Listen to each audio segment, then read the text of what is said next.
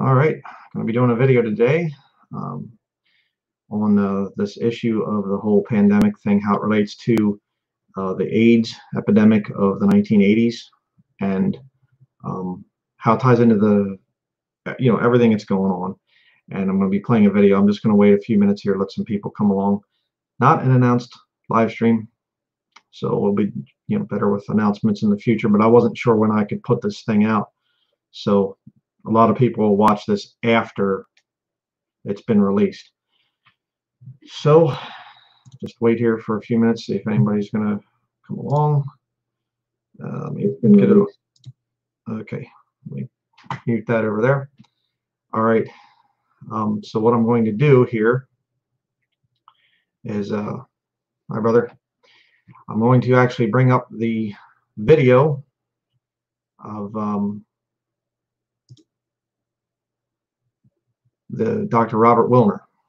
And this is going to be very, very interesting. Um, uh, let me see here. Hold on a second. Let me get this thing there. All right. Um, tell you what, let me do it. Uh, trying to figure out the best way to do this. Just bear with me for one minute. Okay. Share screen.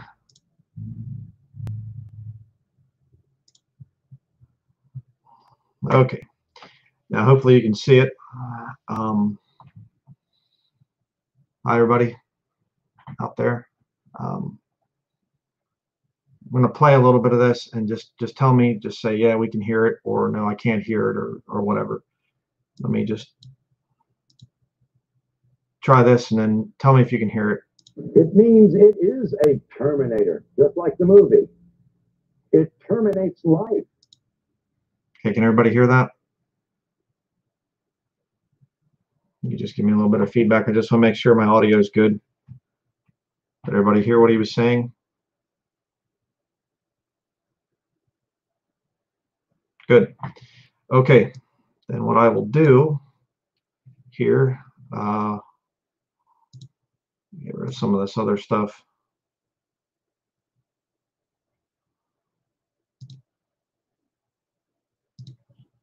All right.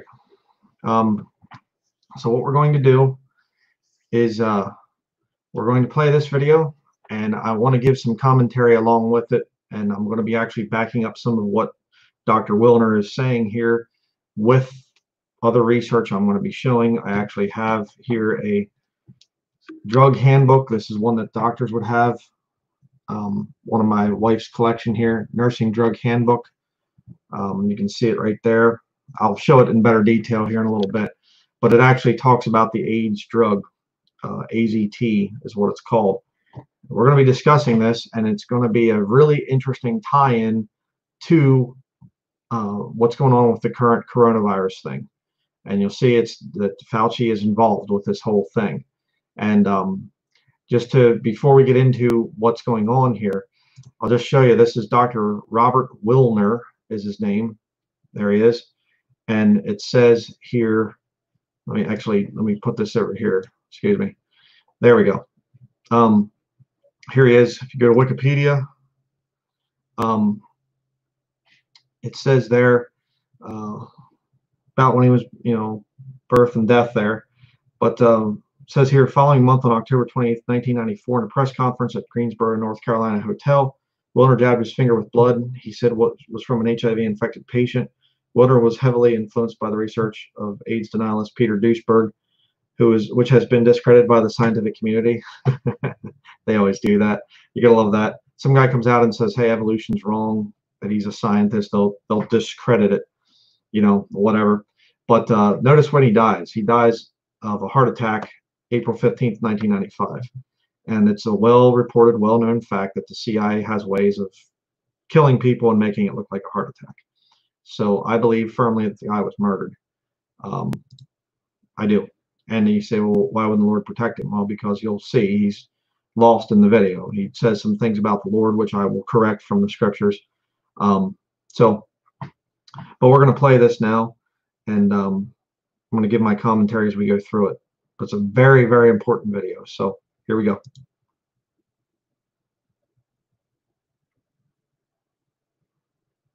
Just first point I want to make there, he is a medical doctor, doctor of philosophy, MD, PhD.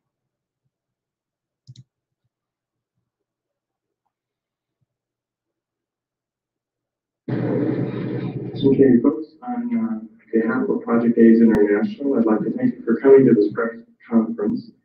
Uh, Dr. Willner, uh, MD, PhD, will be giving an explanation in just a moment on what we're doing here uh, and what he will be doing with our volunteer, who is Kim Freyes, who is an HIV positive individual.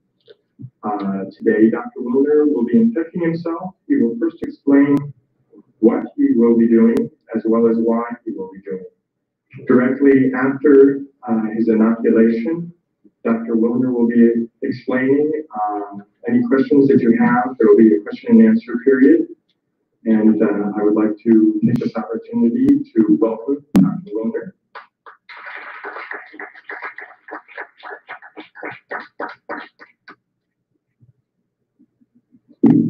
Okay, know if you can hear me without the mic. You can hear, okay.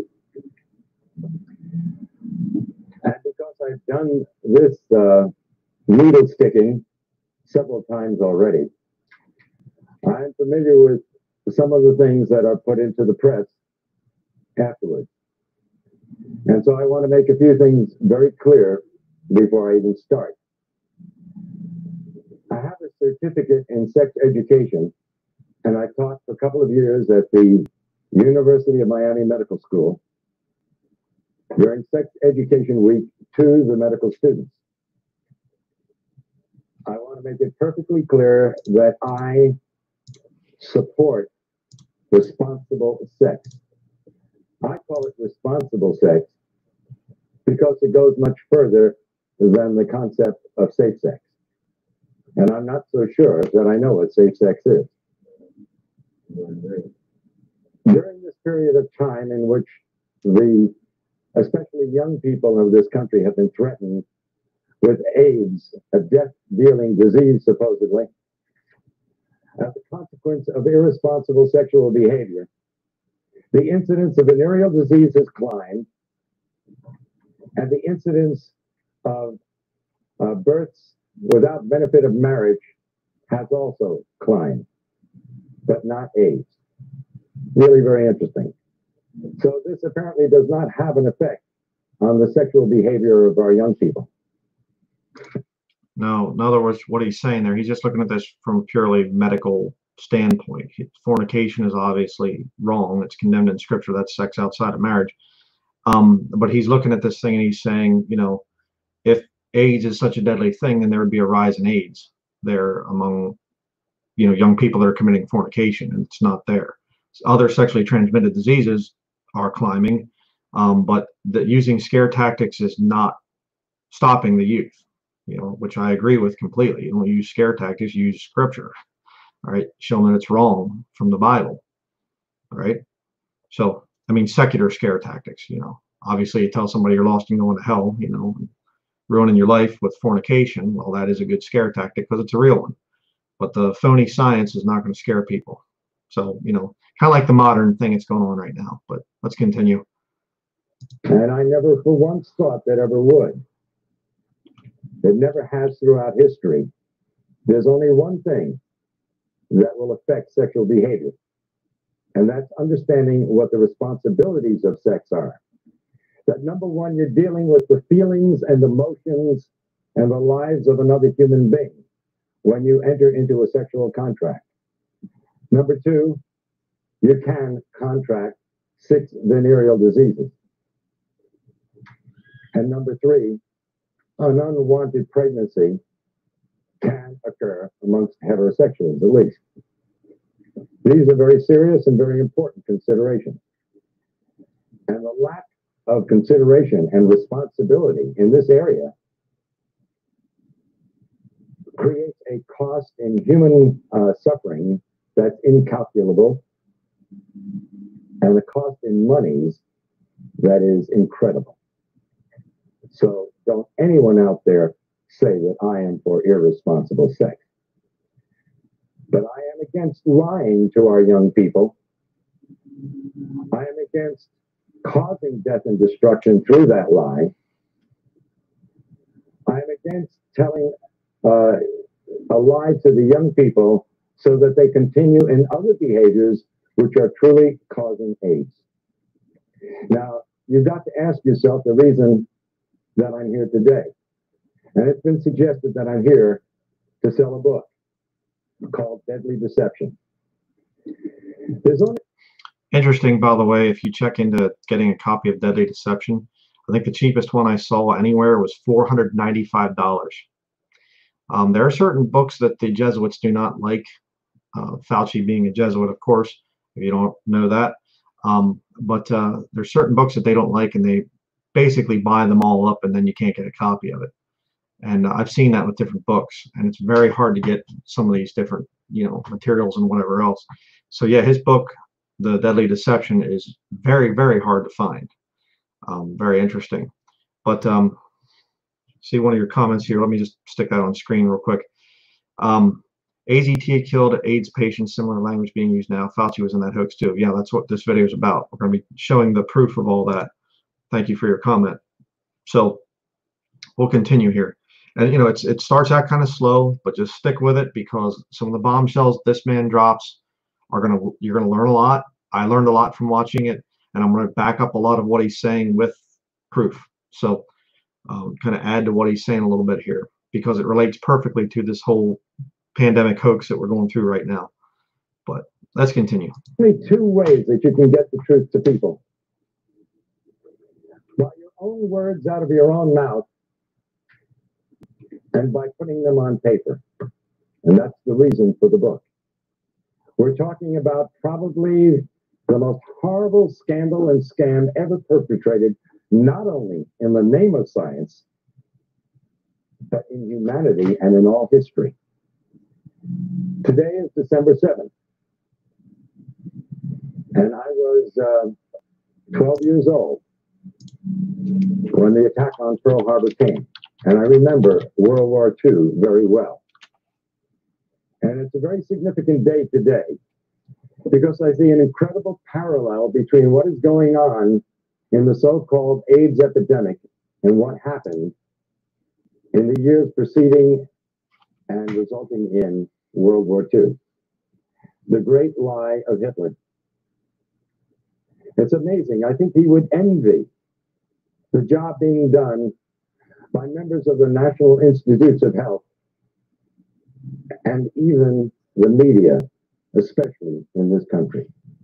I charge the media with part of the responsibility, and a very significant one, in a current Holocaust that can end up being worse than the one that occurred during World War II. How about that? I charge the media with the you know Holocaust that's going on. Yeah, kind of like the whole coronavirus thing. Uh, the governments of the world would have no control over the people if it wasn't for the media using propaganda to scare people. Um, may the Lord Jesus Christ rebuke harshly all the members of the lying media that have destroyed people's lives. I pray for God's harsh judgment to be upon them. Mercy if they decide to get out of it, if they repent of it. Anybody in the media, but you better do some serious repenting and get out of the thing and explain what you were part of if you want to be legitimate. Okay, but let's continue here. There's some really big information coming up. And by the way, let me just show you this. He's talking about this thing being a huge, big scandal and whatever else. Um, let me just share this worldometer.com. Here you have uh, HIV infected people 41,965,000. There's another one, 63. Nearly 42 million people diagnosed with HIV AIDS. And that, that's going to be very significant to you when we get done with this video because you're going to realize how big of a scam this whole thing is. You'll see it. But look at the deaths caused by HIV AIDS this year, 941,351. And they're, they're worried about coronavirus? 42 million people? Let's get back to the video. When it was first announced that Dr. Robert Gallo had found the virus that probably caused AIDS, that announcement was made with Margaret Heckler in 1984 to the press and to the media without one single scientific document appearing in any journal in the United States. And as we know now, without any proof whatsoever that the virus caused any disease. The media picked up on it for the sake of a story. And soon the virus that probably caused AIDS was now the virus that caused AIDS. It was proven in the press and nowhere else. Now it's interesting, a lot of It was proven in the press and nowhere else. Hello, COVID 19. Yeah.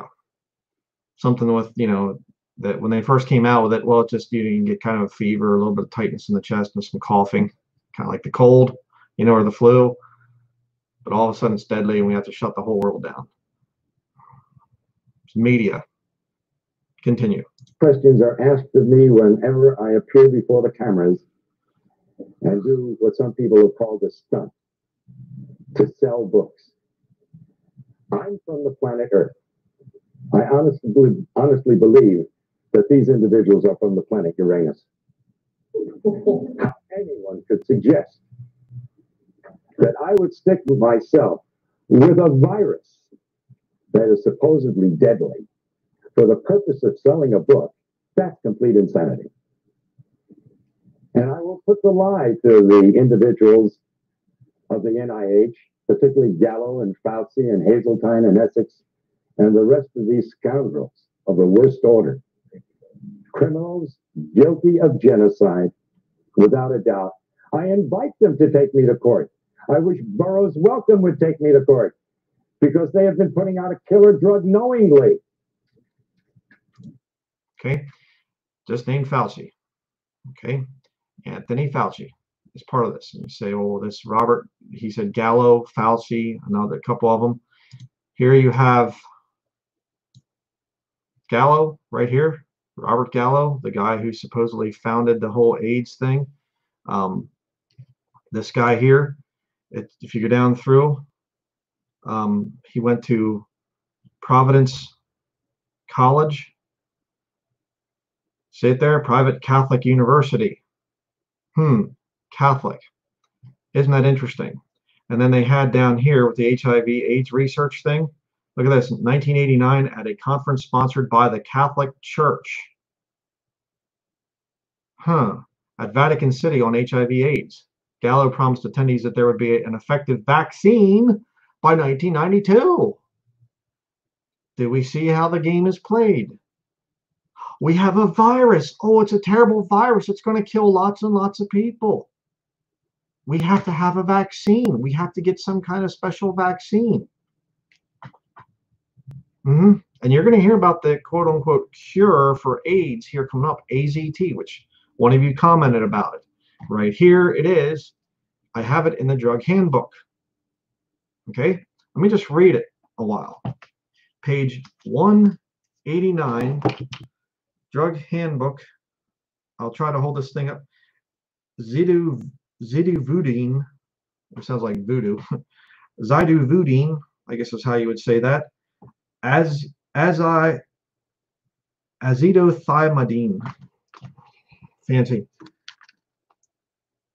As you can see it right there. Tell you what, let me let me stop sharing here just for a minute. Um, so you can see this thing.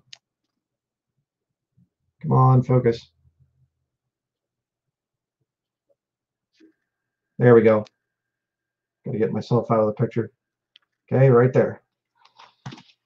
And action nucleoside reverse transcriptase inhibitor that it inhibits replication of HIV by blocking DNA synthesis. It alters your DNA.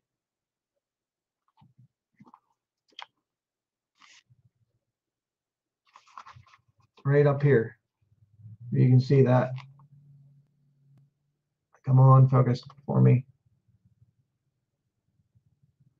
that going to focus or not? My camera doesn't like to focus on words, apparently. But um, it goes down through and it talks about different things. And, uh, you know, adverse reactions, headaches, seizures, paresthesia, malaise, insomnia, asthenia, dizziness, somnolence. Healthy, you know, I mean, this is the guy I was talking about the other day in that live stream that there are no side effects to drugs. They're known effects. Okay, right there. Where we have it there? Right here. Okay. The side effects.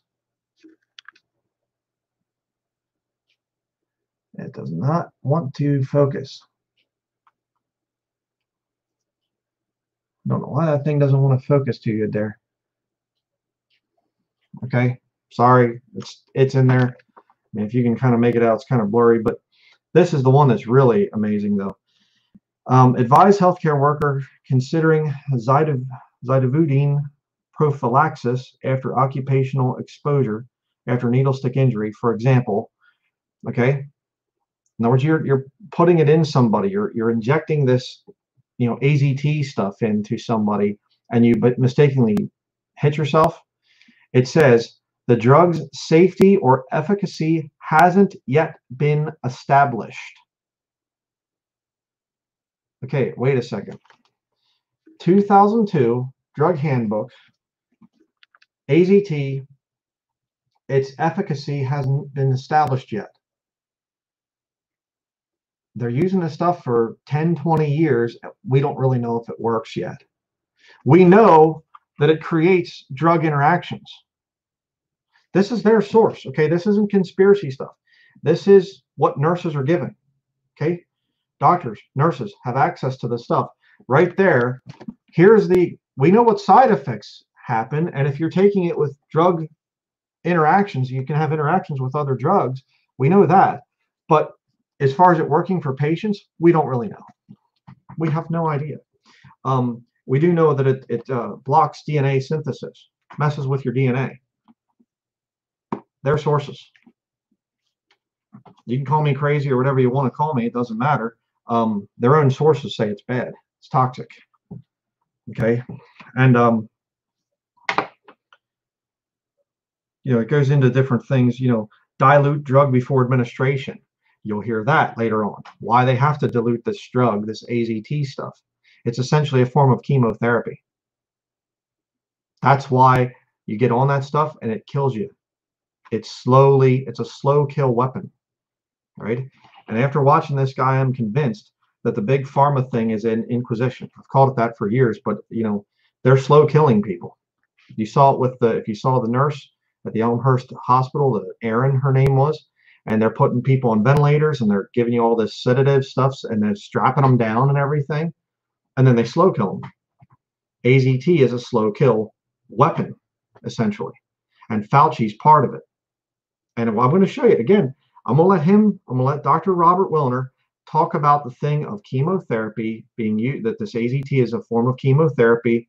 It was it was toxic it was pulled off the shelves years ago and then they brought it back out as aids medicine. Um, I'm gonna let him tell you that, and then I'm gonna actually show you a old video of Fauci speaking years ago when the whole AIDS thing was just coming out and everything, and he shows chemotherapy injections as part of the treatment. Him speaking. So we'll get back to it here.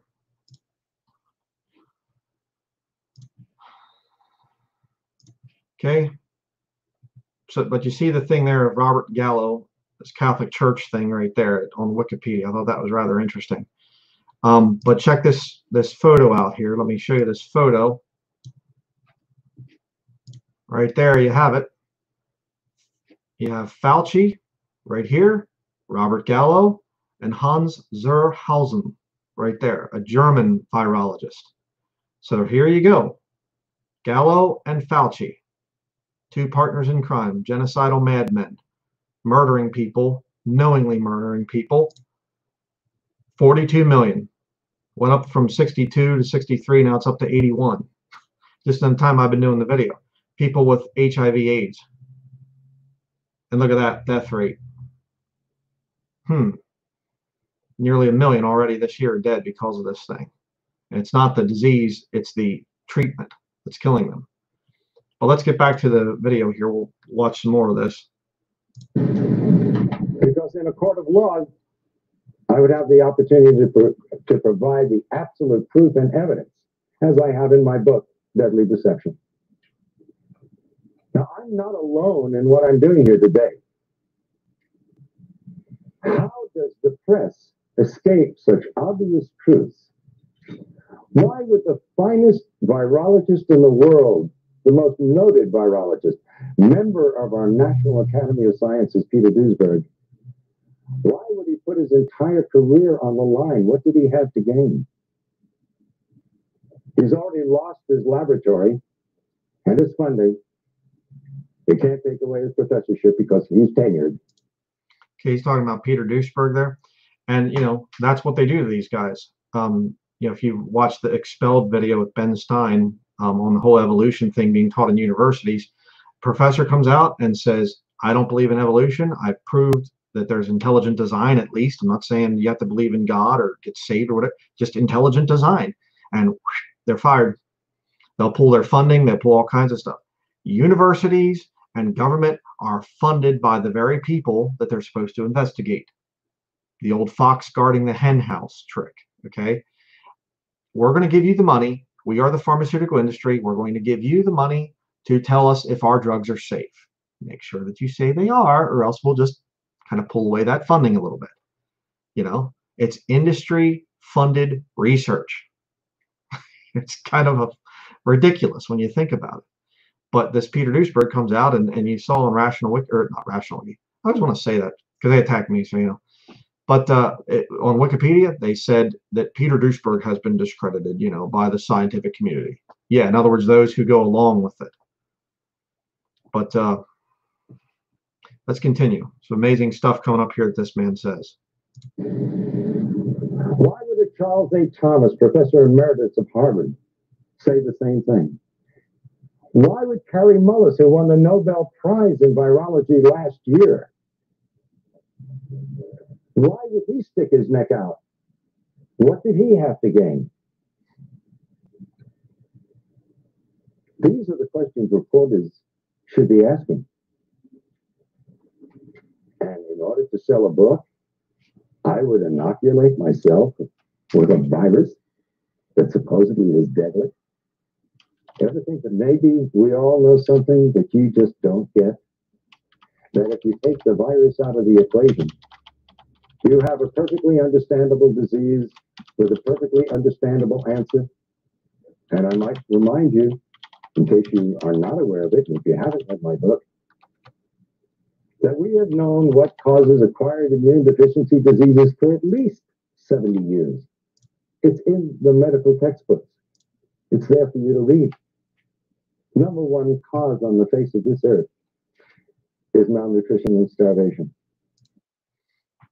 Did you get that? The number one cause of HIV AIDS is malnutrition and starvation. Hmm. I wonder what they're trying to do with the whole COVID 19 thing. You can't go to work, so you lose your job. Then you can't, eventually, you can't buy groceries because you have all your other payments and everything else. See? Malnutrition, starvation, immune system drops. You see? Acquired immunodeficiency syndrome. Think about what they're telling people here oh, this person has malnutrition. Oh, look how bad it is in Africa. You're going to hear him say this here in a little bit.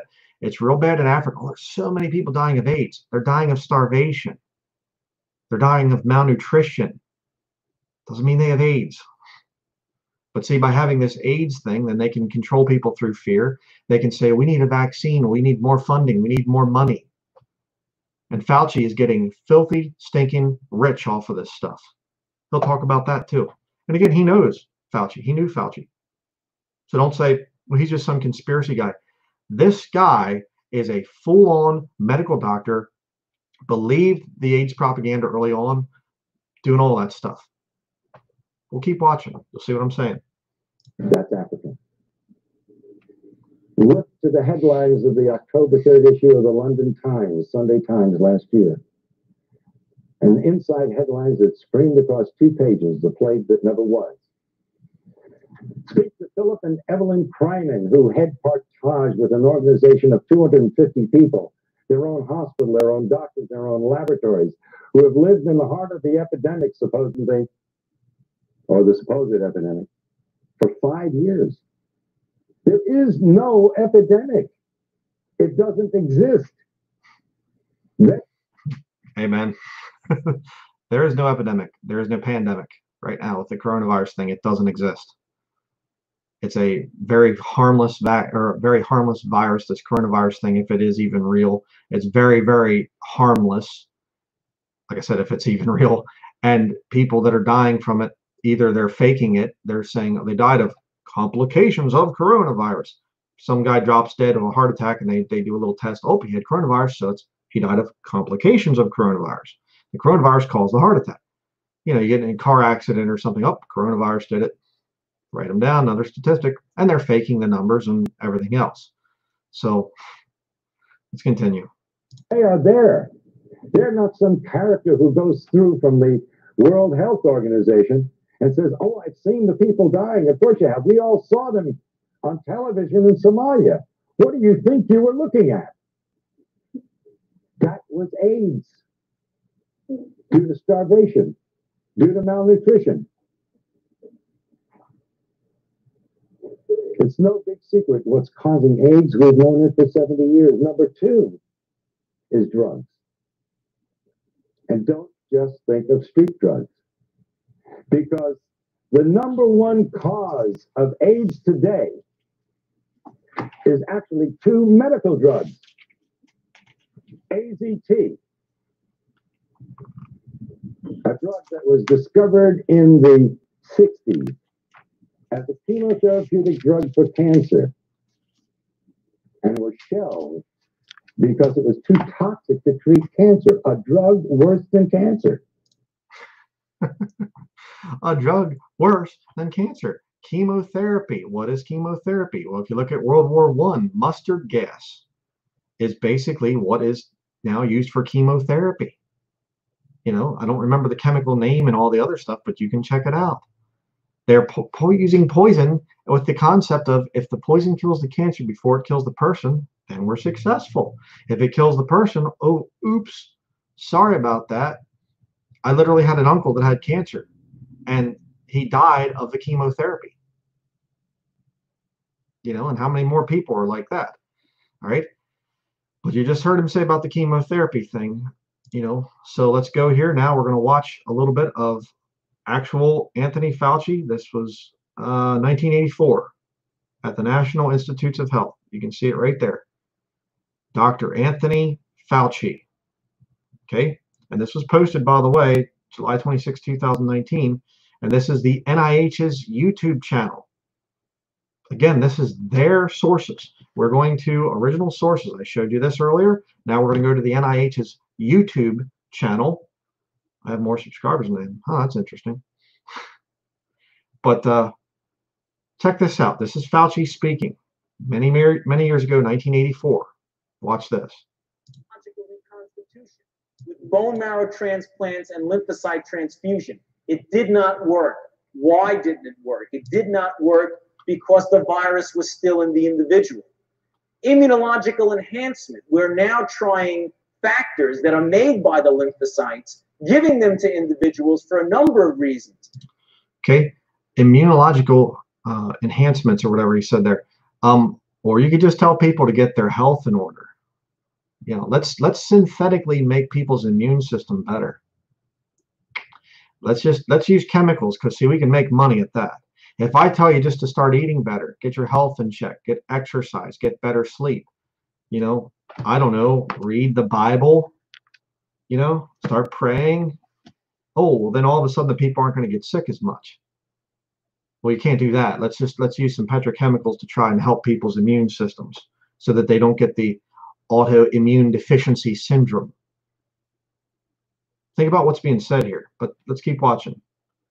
To try and boost up their immune response to perhaps curtail the virus in a way that we don't think will completely eliminate it, but curtail it enough so that when we develop, We're not going to eliminate it. We're just going to curtail it. What? Look at and then look at this giant remote in his hand too. It's it's so funny. You know, 1980s technology here. You gotta love this. It's this gigantic remote, you know, for his PowerPoint presentation. Look at this. an agent that has specific activity against the virus, namely something that can kill the HTLV3, then we can combine that with these reconstitution experiments, which will hopefully no longer be experiments, but will be common practice. And those two things together might then rid individuals who are already infected with the virus by a combination of killing the virus and reconstituting the immune response. And you do it all with chemicals. Right, right, yeah, sure. And finally, as you, I'm sure, have read in the papers, given the fact that we now have the virus in our hands, it is quite possible, in fact, it's invariable, that we will develop a vaccine for AIDS. Uh-oh. Chemotherapy directed against HTLV3 virus. So what Dr. Robert Willner said that they're using chemotherapy, a chemotherapy drug, AZT.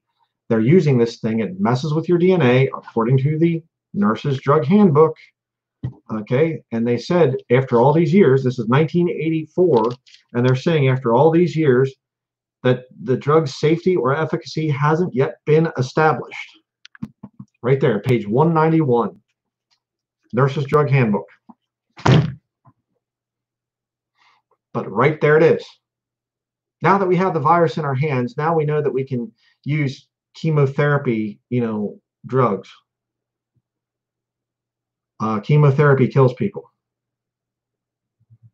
Okay, and there you saw it. This is National Institute of Health's YouTube channel with Fauci. So don't give me this thing of, oh, well, you're just, you know, coming up with conspiracy theory stuff and all these conspiracy theorists are coming out against the coronavirus thing. And, and again, see the same language. It's the same exact language. There's a virus and we're going to work on that vaccine, buddy. I'll tell you what. Why? Oh, because my Bible says, for the love of money is the root of all evil. 1 Timothy chapter 6, verse 10. That's why. These guys want to make a lot of money. They want their uh, fame and fortune, and they'll do it through the medical inquisition, murdering people to get their money. You see, because, hey, you come up with any kind of a thing out there movies, cars, houses, clothing, whatever. Well, not everybody's going to be in, you know interested in that. You can't fearmonger people into getting that.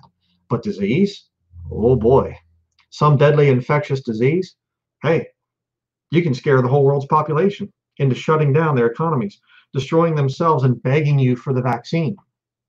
Please, please give us the vaccine. Because the disease that you know we should stay home from and get better at home, it you know it's so deadly that we need a vaccine. Let's continue with the Robert Willner thing. to be used to treat people who are immunosuppressed. Now let's go back to the other causes of AIDS. So it's not only street drugs, but medical drugs, but now three is radiation. What do they worry about at Chernobyl and Nagasaki and Hiroshima? But number four is chemotherapy. Number four, the number four cause of death of acquired immune deficiency diseases chemotherapy. And the most toxic chemotherapeutic drug of all times, AZT, is what they're now using to treat AIDS. And the Concorde study completed last year. Now, can you imagine saying to the world, where was the press? Where are you people? Here they're giving a drug that costs thousands of dollars a year and it doesn't do any good. That's if you want to believe that. But did anybody here bother to look at the insert, the paper that comes with the drug? It's a DNA terminator. It means it is a terminator, just like the movie. Okay, I showed that right here in the nurse's drug handbook. And I'm sorry I saw when he said audio is very bad. I'm sorry, it's an old video. It's not high definition, whatever else. The guy died in 1995, was, you know, killed, I believe, in 1995. But it says right in here that it changes DNA. You know, um, get my page here again. Uh, nucleoside reverse transcriptase inhibitor that inhibits inhibits replication of HIV by blocking DNA synthesis. Right there, Nurse's Drug Handbook. So, yeah, what he's saying, absolutely. Let's continue. It terminates life. You terminate DNA, you terminate life. And they talk about side effects in the insert. When are you going to learn there is no such thing as a side effect in medicine? It's an unwanted direct effect. exactly. There are no side effects. It's an unwanted direct effect. Oh boy, remember that one.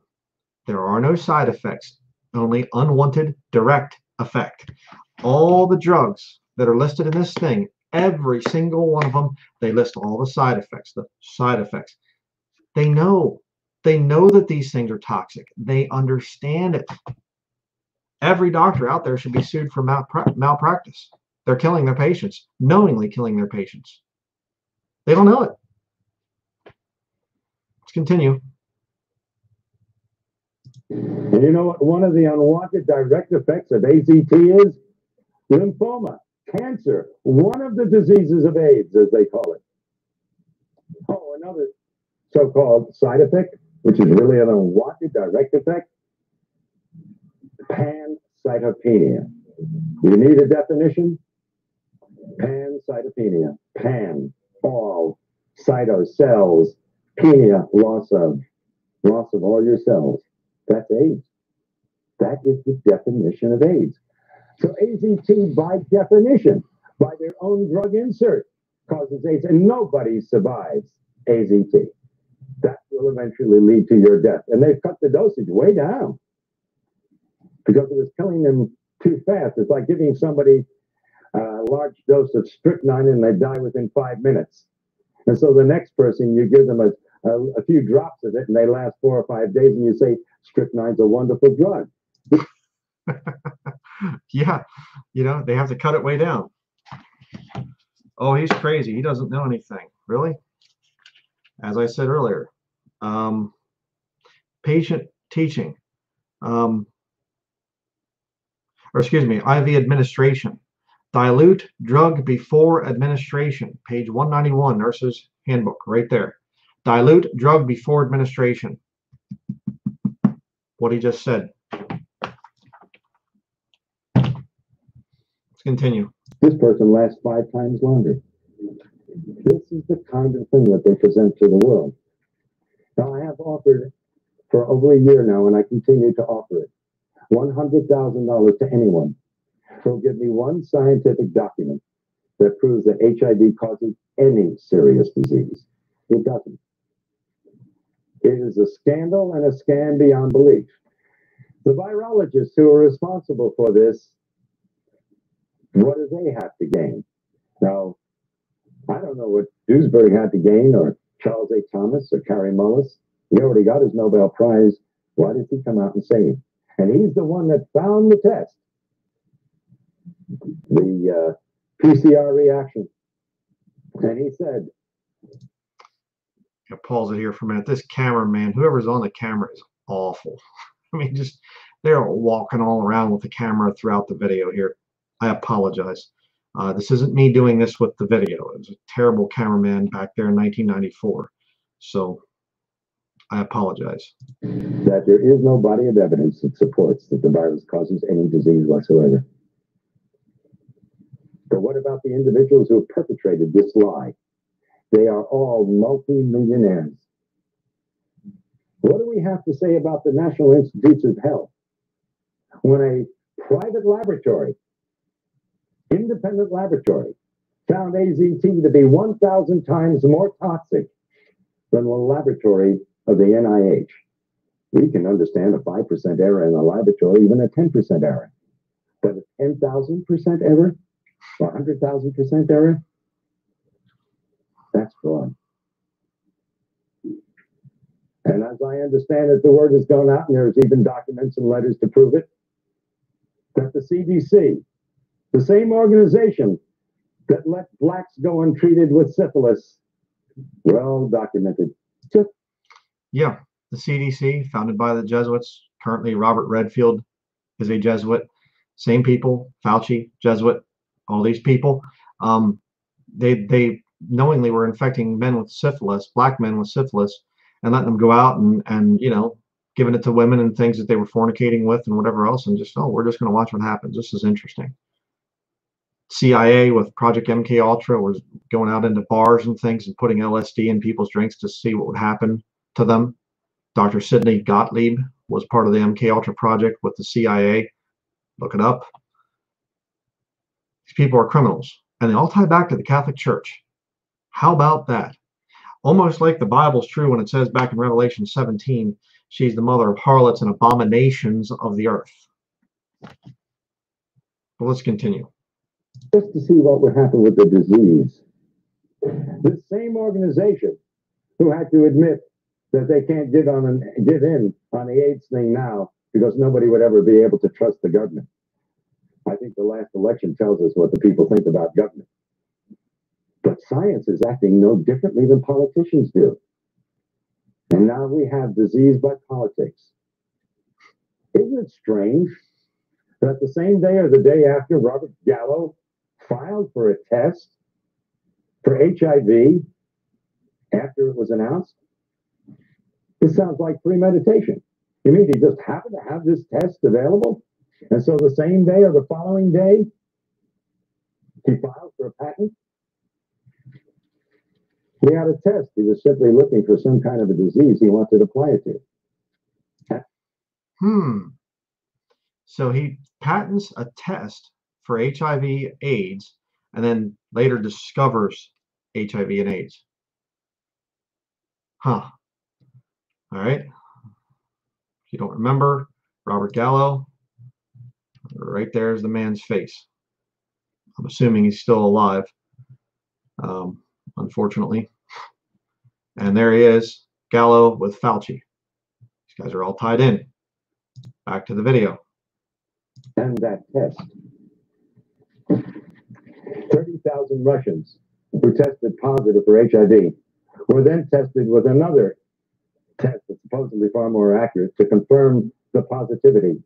And 66 out of 30,000 proved to be positive. That means that the test HIV is 99.997% inaccurate. You want to take a test that's three thousandths of a percent right? and you're going to rely on that. But that's what they're doing to people out there. They're taking a test that is not only invalid, it's totally misleading. In fact, when you get results like that, then I would say you're going to be more correct that if your red is being negative, consider yourself positive. And if you're positive, consider yourself negative. By the way, at the request of many individuals, I did go for a test a couple of weeks ago in New York City at the biggest clinic there that does more testing than anybody else. And the doctor who ran it was bragging about the fact that he did more. When I told him about the book I wrote, he said, Shh, don't say anything. My patients might hear. I tested negative. And of course, Fauci said that you need, or when he was answering what I did in uh, Cleveland a week ago, he said, well, he's going to have to stick himself 300 times to transmit the virus. Where are you people in the press? So Fauci, in other words, you're going to see it later on. He does it again. He repeats the same thing. Guy comes up that's supposed to be HIV positive, pokes him in the finger, gets the blood out, and then he rubs the needle in the in the guy's blood, sticks it in his own finger. Dr. Robert Willner sticks it in his own finger, and he says, "Okay, there you go. Now I supposedly have AIDS, right?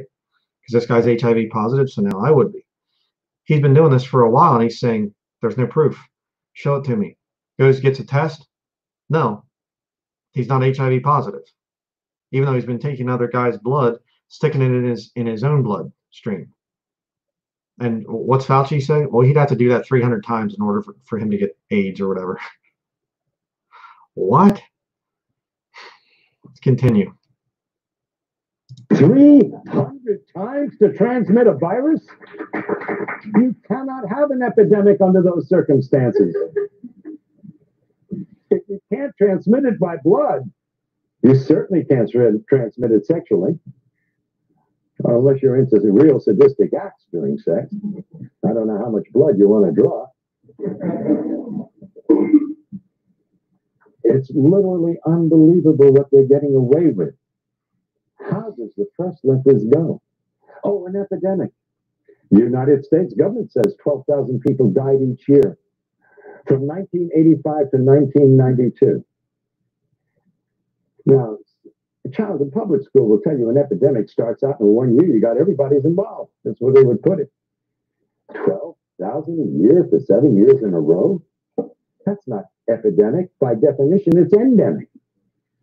And you would expect in seven years, considering it spread sexually, that you'd have probably 15 to 20 million. We're a pretty active country when it comes to sex.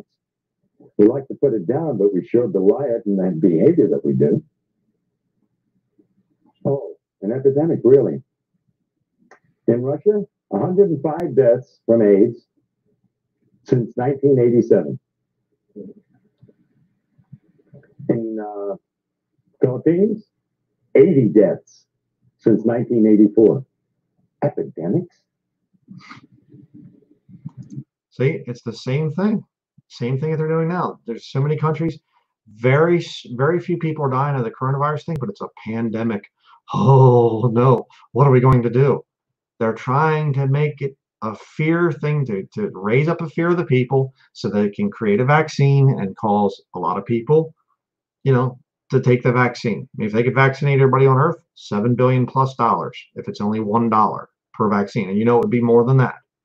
So they're looking at huge money here. Uh, But money's the root of all evil. Continue.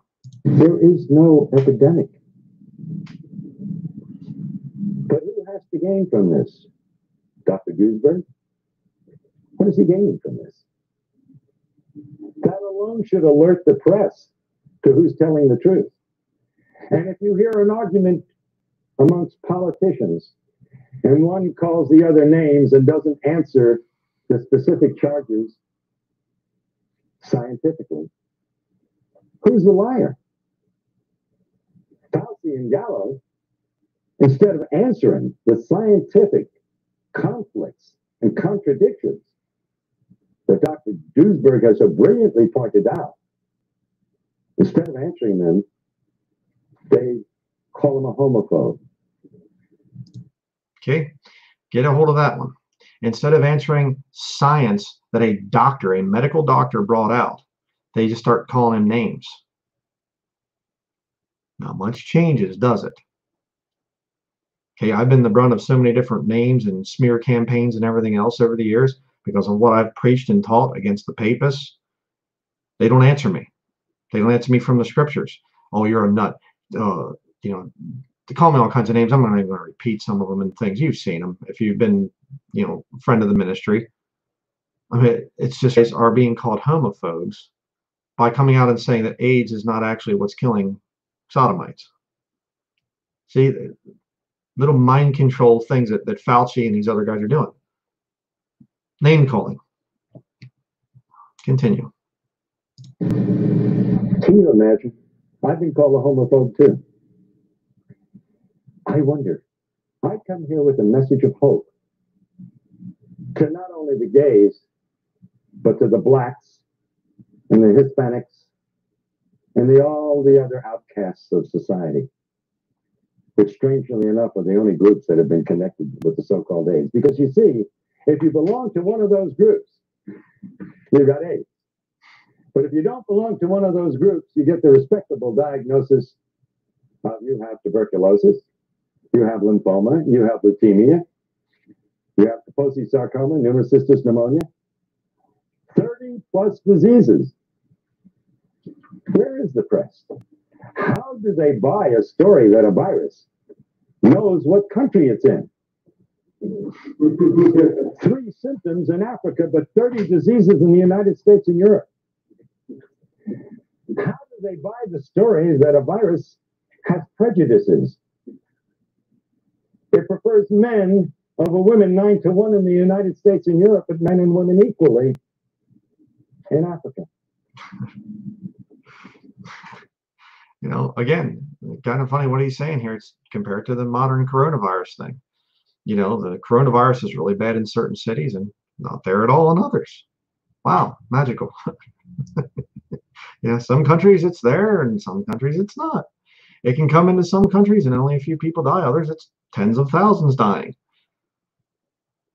Okay, so I guess the coronavirus prefers, you know, to kill Italians because there's Italians, you know, in Italy that died a lot, and then there's Italians in New York, so they got killed a lot too, you know. So, but other people in other states and other cities and things didn't die quite as much. Yeah, continuing. It knows whether you're gay or straight, married or single, black or white. It should be hired by the immigration department because it does one heck of a job. This is what they've been feeding to the public, and this is what you and the press have published.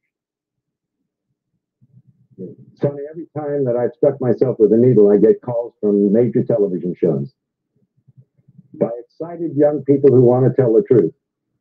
Then I get a call three days later telling me that it's been mixed at a higher level. That's no surprise.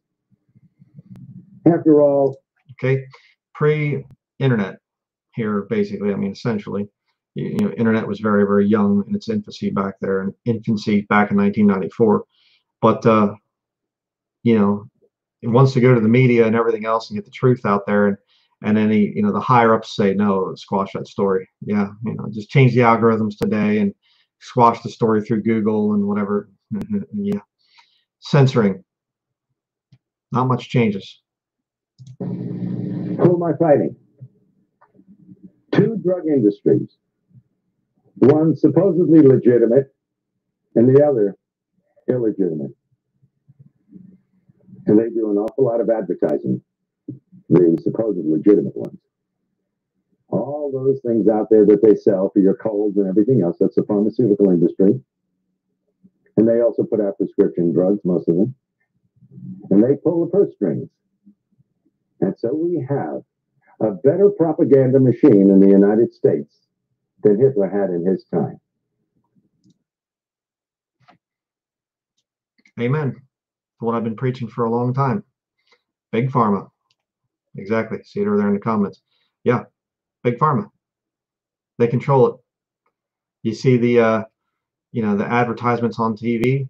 Get Protolax, you know, Protolax will help you. And everybody's smiling, running, pushing their grandchildren on swings, you know, and, and at the end, Protolax might cause death and you know, suicide and headaches and vomiting and nausea and upset stomach. And, okay. Crazy. May the wrath of God fall on Big Pharma and the media that pushes it and the government that is are the stooges of them. You see, Hitler pulled off a lie, and he was condemned for it by most of the world, although believed by three major groups of the Axis powers. The liars and killers like Fauci and Gallo and Haseltine and Essex and Flossie von Stahl and the Margaret Fischls these people are getting by with the lie and getting paid immense sums of money for it and praise from the rest of the world while they murder. The study at the university. Yeah. Again, I got to pause it here. Again, oh, Dr. Fauci. Oh, he's a hero. Oh, he's doing so much. You see it all over the press, all over YouTube. You can't escape it. Oh, we're so thankful for Dr. Fauci. Oh, he's killing people. He's lying. He's killing people. He's destroying the economy. Him and all the other Jesuits. They're trying to divide and conquer the nation. Oh, he's so wonderful. Same thing going on back here. What a brave man. He's coming out and he's speaking against, you know, uh, he's speaking against, you know, the, or he's speaking about the whole AIDS thing and, and everything else. Here he is. Oh, what a hero. No, he's making a lot of money off of a bunch of suckers. And you have a real doctor here that tries to come out and explain it. Continue. city of Miami was completely fraudulent. You see, I believed that the virus caused AIDS from 1984 to 88, and I treated AIDS patients. One of the few doctors willing to. Doctors were scared for their lives to even treat the patient. By the way, sticking my finger, nothing new. I did it lots of times in treating my AIDS patients. And in fact, it's amazing that in spite of the fact that we are at such great exposure to this deadly disease, the incidence of the disease amongst medical personnel of all types is less than the general population. This is a first in the history of science. Think about that. How is it possible? Maybe the virus has nothing to do with it. Not only maybe, the virus has nothing to do with it. In 1988, I was invited to a dinner Think about that again compared to the whole coronavirus thing. If coronavirus is so horrible and deadly and, and everything else, um, why aren't all the doctors and nurses that are in the hospitals dying from it? The deadly, horrible diseased people come in. Shouldn't the medical staff be dropping dead? We have no known cure. What can we do? We have to get a vaccine. Oh, what if we're exposed to it? Well, the medical personnel are all the time. They're not dropping dead. Continue. where Burroughs Wellcome was going to push AZT as a drug for treating AIDS. And we were told we could ask questions during the dinner because Margaret Fischl was going to be speaking. And when she mentioned that the drug AZT had 56 side effects, I raised my hand. And I said, Dr. Fischl, how do you do a double blind study on a drug with 56 side effects? You've got to know if you're on the drug. And she said to me and the rest of the doctors sitting there, Well, the placebo had 31. And I raised my hand again. How could a placebo have 31 side effects? Yeah. Okay. A placebo typically, when they do a drug test, is a sugar pill or something of that nature that has basically no side effects. It can't have side effects. 31 side effects from the placebo. 56 from the drug, and the placebo had 31. uh, okay. See, the medical establishment's just so stinking crooked. Good night. Continue. How could an inert substance have 31 side effects? I didn't know what was wrong then, but I knew there was something wrong. I knew there was something dreadfully wrong, and I didn't know how dreadfully wrong and how deadly wrong it was. But the answer came years later. The FDA, as you probably know, released AZT after four months of a proposed six month study. They cut it short because one group in this double blind study where nobody knew who was on what, one group was doing better than another group. And so, out of compassion, they terminated the study. I don't blame them for that. And sure enough, the AZT group was doing so much better than the placebo group. And so they released the drug. But then 18 months later, their own investigator from the FDA brought back his report. And guess what it showed? The participants in the study knew the first week who was on the drug and who wasn't. You didn't have a double blind study, it wasn't the Cadillac of studies. Not only that, some of those on AZT admitted to sharing their drug with members of the placebo group. That explains the 31 side effects in the placebo group. Oh. The way it's supposed to work when you test a drug, you have two blind groups, okay? They don't mean blind people. It just simply means they're not talking to each other. They're not saying, hey, I'm taking this pill. What are you, you know, they're supposed to be separated, not supposed to talk. okay, about what side effects you're feeling or about what the drug, you know, whatever sickness you're supposedly having and whatever. Not only were these groups talking with his AZT test, but they were also sharing the drugs. So the AZT people were giving people on the placebo the AZT drug. That's why the people on the placebo were getting side effects. Insanity. But we got to get this thing out. AIDS is killing people. There's a lot of people dying from AIDS. We have to get the vaccine. We have to get this special drug, this AZT stuff out. That's the only way we can help people. Sound familiar? Does it sound familiar?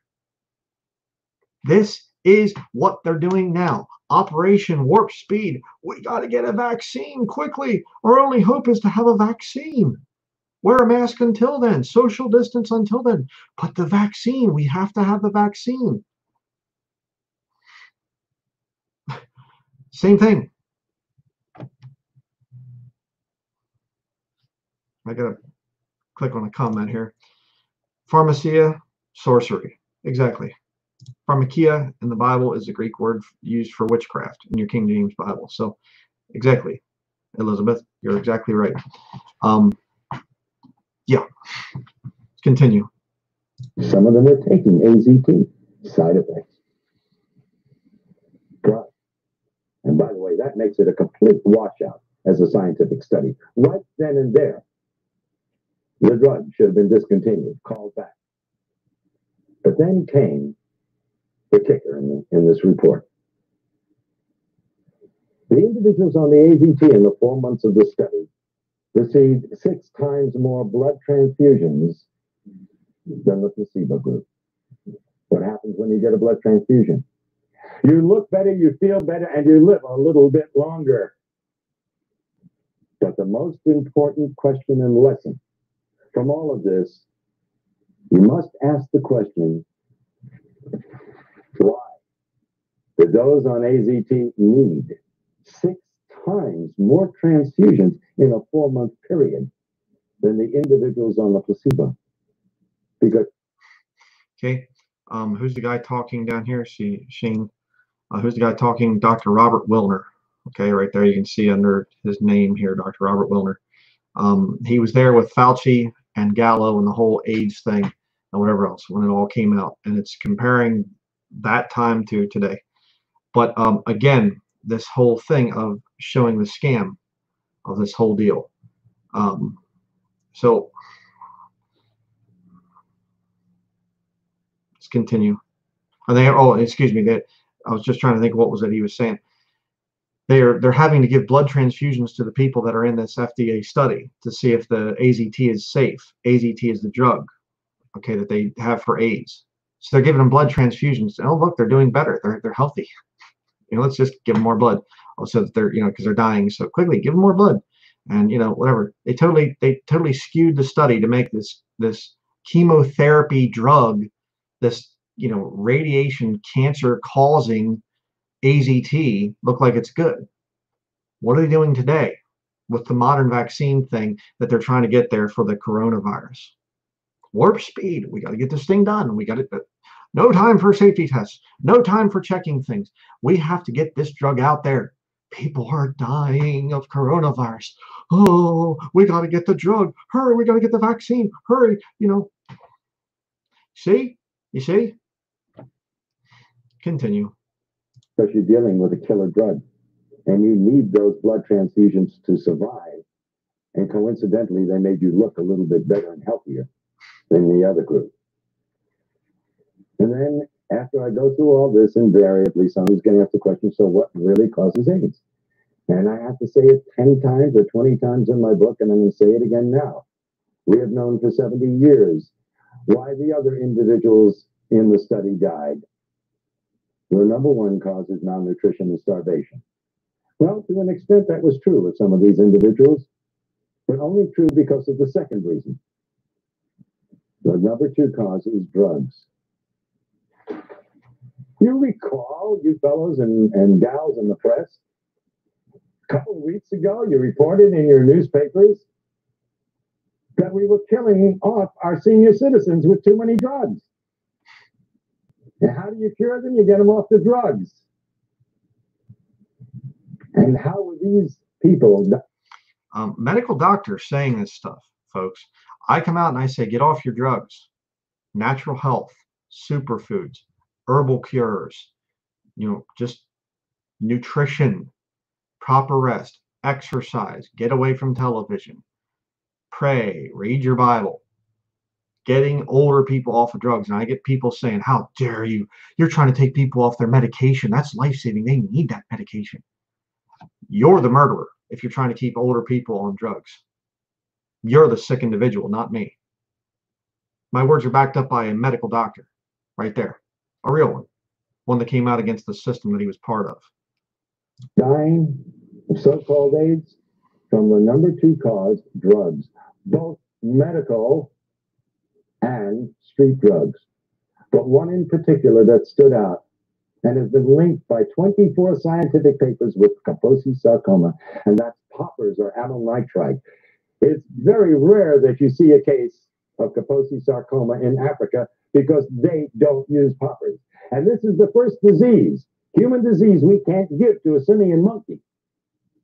And I'm talking about legitimate diseases. Because you see, the virologists have been coming up with more diseases than you can imagine.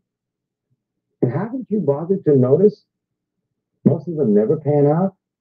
They disappear from the headlines and they're never heard of again because they weren't diseases really in the first place.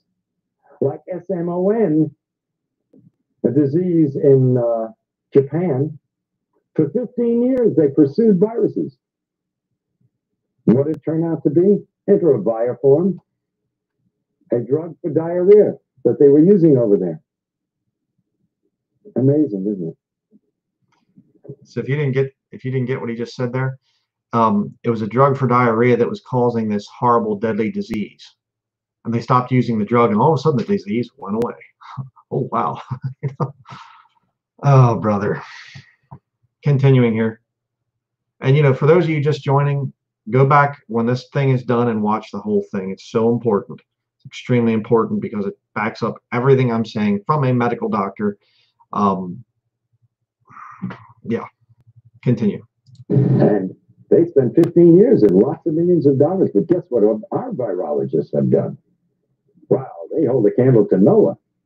For 20 years in Nixon's war on cancer, they spent over $20 billion looking for a virus that caused cancer.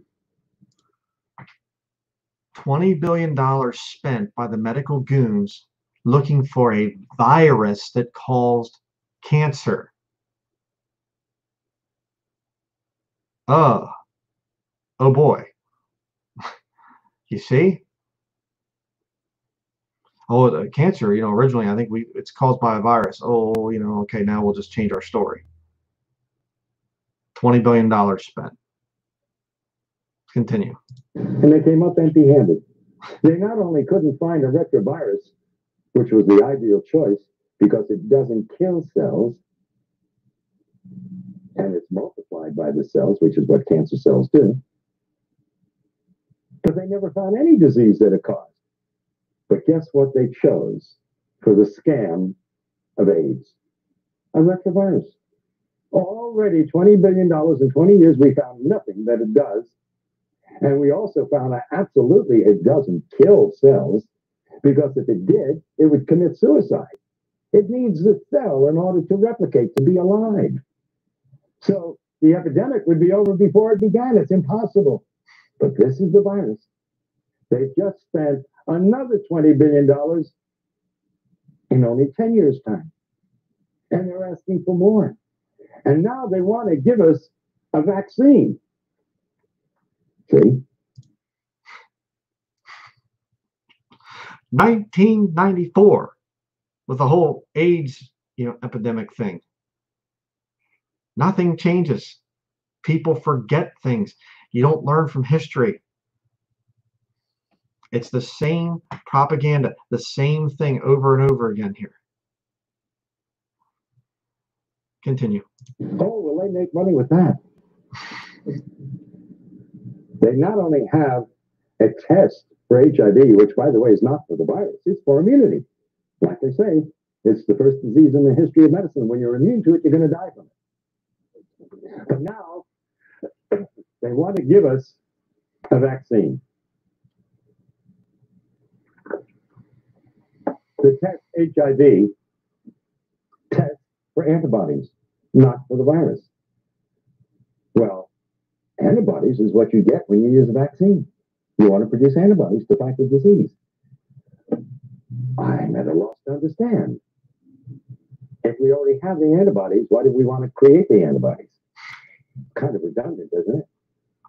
Oh, by the way, if you take these very same antibodies and you put them in Gallo's culture in his laboratory, he just ruined his multi-million dollar culture that he's making a fortune out of. Because you see, these antibodies destroy the culture. Does the press uh, bother reading? Do they understand the English language? And yet you want to condemn me and say that I'm out for publicity? Well, what is it that Peter Duesberg is out for? He held the reputation, and still amongst honest scientists, as being the foremost virologist in the world. What is Kary Mullis out for? He just won the Nobel Prize. Why does he want to put at risk that incredibly marvelous reputation of being a Nobel Prize winner? Why would he put that at risk? Unless maybe there's still some honest scientists around. Now, what about the rest of them out there? You know, I, I often ask myself the question if my children were still in school and I had house payments to make and I had to put them through school, etc., would I be doing what I'm doing today? I don't think I've ever answered the question because I'm I'm kind of afraid of what I might answer if I was going to answer honestly. And he who is without sin shouldn't be casting any stones. So I won't cast the stones at the thousands and thousands and thousands of virologists out there who are going along with this scam. Because you see, they would be out of jobs if they dared criticize Margaret Heckler or the head. They'd be without jobs if they dared to criticize the medical establishment that they work for. Yeah, continue. heads of the NIH. They'd be out of jobs, and they'd have families that they have to support, and futures that would be down the drain. You don't cross the establishment. And so the lie is being perpetuated by the silence. Let that be a challenge to you, brethren. The lie is being perpetuated by the silence. Silence is consent. Even the most shy of us and whatever else, those of us who have a hard time speaking to people, you have to say something. Do something to fight this evil. Don't let the lies be perpetuated because we're all silent. We're supposed to be speaking up against it before anybody else. Challenging.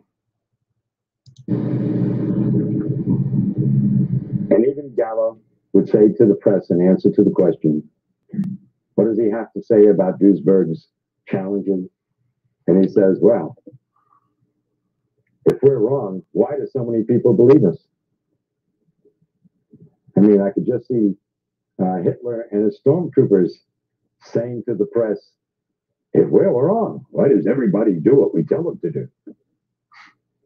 Because they're running the show and you're looking at not just a simple lie of science. In the back of my book, I have the picture of Pedro Tessino of Spain, father of two young girls, a hemophiliac. Nothing wrong with the man. But because he received so called tainted blood, they had him on AZT. I stuck myself to get that man off AZT. I said, if I stick myself with your blood, will it convince you there's nothing to worry about?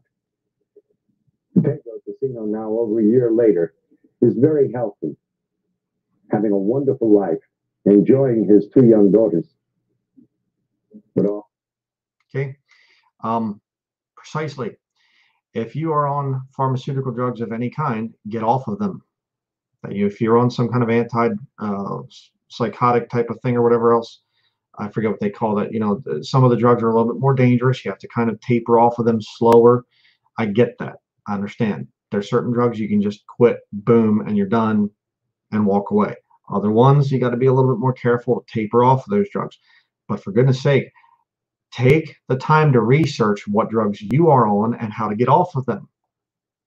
If that guy that he's talking about there had continued to be injected and things and, and taking this AZT stuff, it would have killed him. He stops taking the drug, his health comes back. He was being, you know, lied to about this thing of having HIV AIDS. Continue. All of his friends are dying or are dead. This is real. And I don't blame those scientists out there keeping their mouth shut because their jobs depend on it. And I understand that exists in the press too. But you've got organizations. And in a way, so do the virologists have organizations. And if enough of the honest ones would stand up and take that chance, if you all stand together, you make a statement. And you can do that in your press associations, even though the people who own the newspapers and the television shows are afraid of losing their sponsors, you can at least keep your dignity. That's the choice you have to make. And that's the choice that I have had to make. I figured that if I didn't do what I knew was right, I'd end up cutting my throat shaving in the morning because I wouldn't be able to live with myself. And that's the honest, simple truth. I am sticking my finger to bring attention to the current Holocaust, and it's a dreadful one. When you terminate the DNA of a human being, they waste away and die in an inhuman fashion. We all have the right to die with dignity. But if we told them the truth, a lot of them wouldn't die at all. They'd simply get off the poppers and off the drugs. And there's no dishonor in being gay and admitting that you've been on drugs. Well, you know, here he gets into the thing a little bit of, of saying that there's no dishonor in being gay, a sodomite, or whatever else. Well, um, you can come to the Lord as a sinner, but the Bible does condemn sodomy. So I have to disagree with him in that. But uh, um, yeah, continue. The decent human beings in this world will give you the support and help you, like we help drug addicts of, of all followings, so to speak. Those that would turn against you have turned against you anyway because of what you feel and what you are. And there are even some religious groups who have turned against the gays and said it was God's vengeance. How can you believe in a loving God and believe that that God would cause such a terrible disease amongst humans? Okay, uh, God does punish the wicked, certainly. That does not mean that I stand for what the media lies are about this whole HIV/AIDS thing. Doesn't mean that. But you can't twist the scriptures and say God won't punish people for contradicting His word, for sinning against what He you know commands. So again, I would have to disagree with Dr. Robert Willner on that. Now, this is a man-caused disease, but we all make mistakes in life, and that shouldn't stop the compassion and the love and the understanding of decent human beings. And so I do the act of sticking my finger and create another blood brother in my life as the ancient Indians have done. And I will get another one today because I'm not afraid of getting AIDS. I know as a scientist that there is nothing to fear. I know what causes AIDS. I am not going to lie to others nor myself about it. I don't like sticking myself with a needle because it hurts. And if you've ever seen my expression on pictures, you know that to be true. So, King Freitas, are you here? We're going to become blood brothers. Yeah. and please, to the press and to everyone else, I don't intend to stick myself 300 times because it wouldn't prove anything anyway. Oh, and might I say that a Dr. Gottlieb, who achieved fame for being the doctor that noted the first four, five cases of AIDS, who said to me on a, uh radio broadcast the other night, he would believe me if I took a liter of blood. That's a transfusion of blood. And I said, you know, you must be mad. What is that going to prove? If you need a liter of blood to get AIDS, then nobody's going to get AIDS. In well, I, I got to do myself first, and then I have to do you. Yeah, but let me do your, your finger, okay? I mean, I got to do you first, right? Right. Excuse me. Then I got to do me. Excuse me, I had that backwards. All right. Wait a minute. Gotta find. This is, is a heck of a time to lose my. I there we go. Okay. Ladies and gentlemen, this is a uh, typical butterfly needle set. If somebody has a scissor, and there, I got it. Okay. It's sterile. And uh, usually we use it to take blood by sticking this in, and then we can inject things also. So uh, let's do that. We got this. Okay. Yeah, I'm gonna. uh, let me put my glasses on, okay? I think you'd rather I do that. I got to tell you a cute little story. Uh, shortly after my son was born many years ago, he's now 40.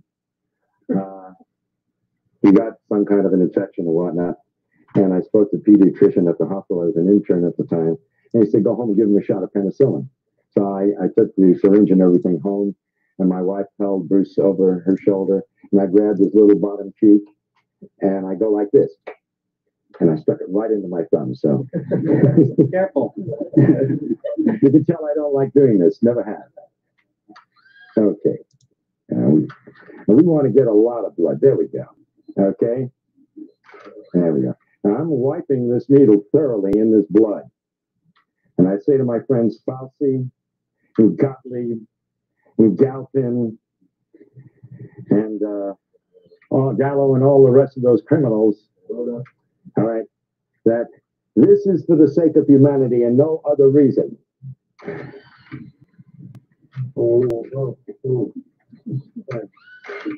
And believe me, it hurts.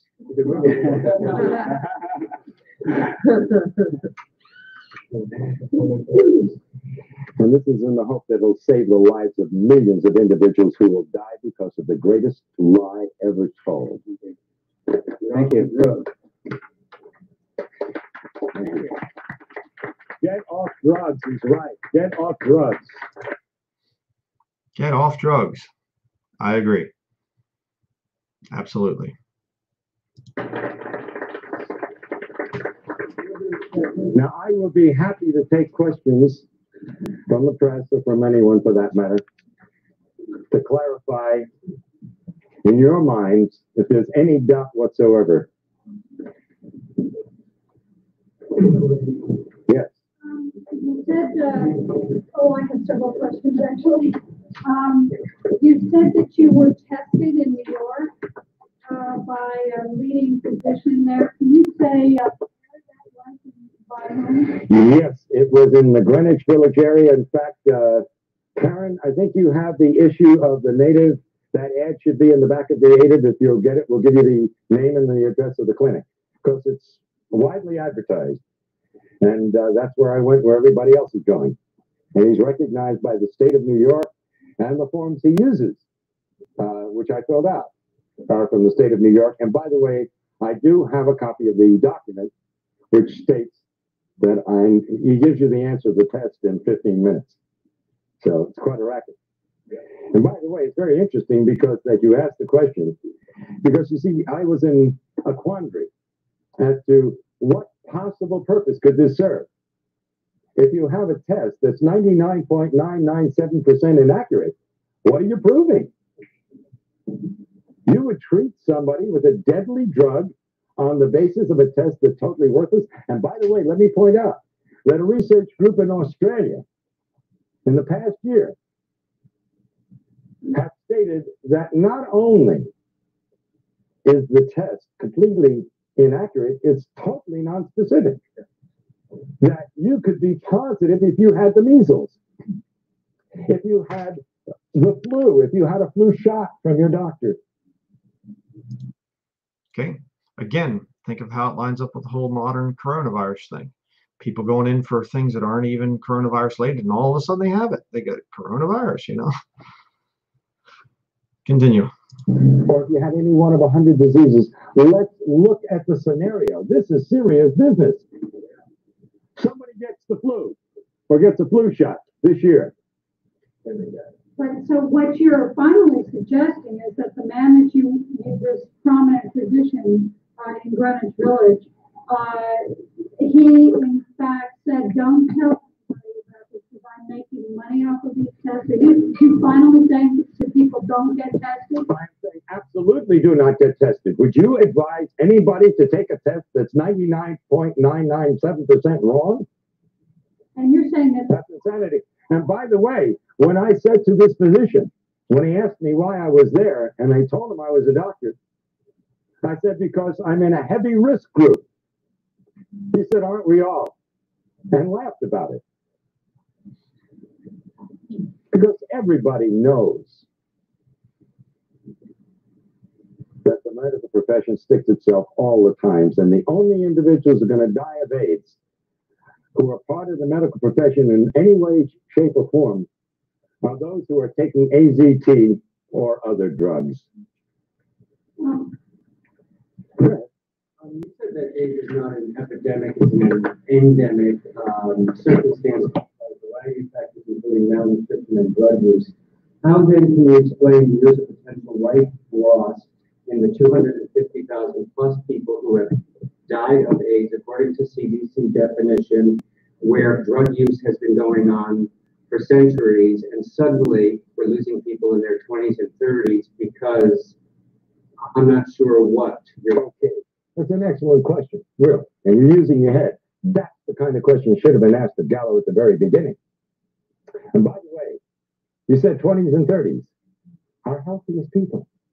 Isn't it strange? You got a disease, the first disease in the history of mankind, that affects our healthiest. But what happened in the 60s? The drug culture began. What happened in the 70s? It heated up. At the end of the 70s, the gays came out of the closet and became an identifiable group. Now, I'll ask you, in a sense, a redundant question, but yeah, I think it'll get the point across. I'm going to name five of 30 diseases. Tuberculosis, a new disease. Lymphoma, oh, that's a new disease too. Leukemia, oh, yes, that's a very new disease too. Pneumocystis pneumonia, another new disease, but lesser known. And Kaposi sarcoma, another new disease? No. These diseases and the other 25 have always been around. It's real easy. It's real simple to create an epidemic. You simply take a bunch of diseases and put them under one heading and then claim that one virus is responsible for it. Well, that's nonsense. Take a bunch of diseases, put them under one heading, coronavirus, and then just blame it on the coronavirus. Okay? Uh, yeah. Continue. First of all, let me offer the proof. You, the reason it appeared, which I think is the essence of your question, as though it were some new epidemic coming on, is because it appeared in a select population, the gay population. But it only is appearing in gays who are on drugs. And especially, and substance abuse, right. And remember, by the way, too, that alcohol is a drug. And remember, these individuals, many of them, extremely promiscuous, would get one venereal disease after another, and they'd be taking antibiotics for these diseases all year long. And it's a matter of medical fact that antibiotics are immune suppressive. Get that one too, brethren. Antibiotics are immune suppressive. Okay, if you get a cold and you go and you take antibiotics, whatever the doctor gives you, antibiotics or whatever, it's going to suppress your immune system. Okay, there's so many things in this video. That's why I wanted to play this thing. There's just so much stuff that this guy says. It's so important to get a hold of. You take an antibiotic, it will kill your healthy gut flora, your the bacteria, the good bacteria that's in your stomach that helps with digestion and everything else. It will kill that and you'll start to have problems. You need to have probiotics like yogurt, kefir, sauerkraut, fermented foods. Those things all, you know, kombucha, they all have uh, healthy bacteria. You need that. But if you're constantly taking antibiotics, it's going to kill all the bacteria. Antibacterial soap. What are they having people doing with this whole coronavirus thing? Wash your hands with antibacterial soap. Just constantly antibacterial soap, antibacterial soap, just all the time. We moved here to this new office. I came in, there was antibacterial soap around, threw it all out. I'm not even going to let it touch my skin. It's terrible. Absolutely terrible. Continue.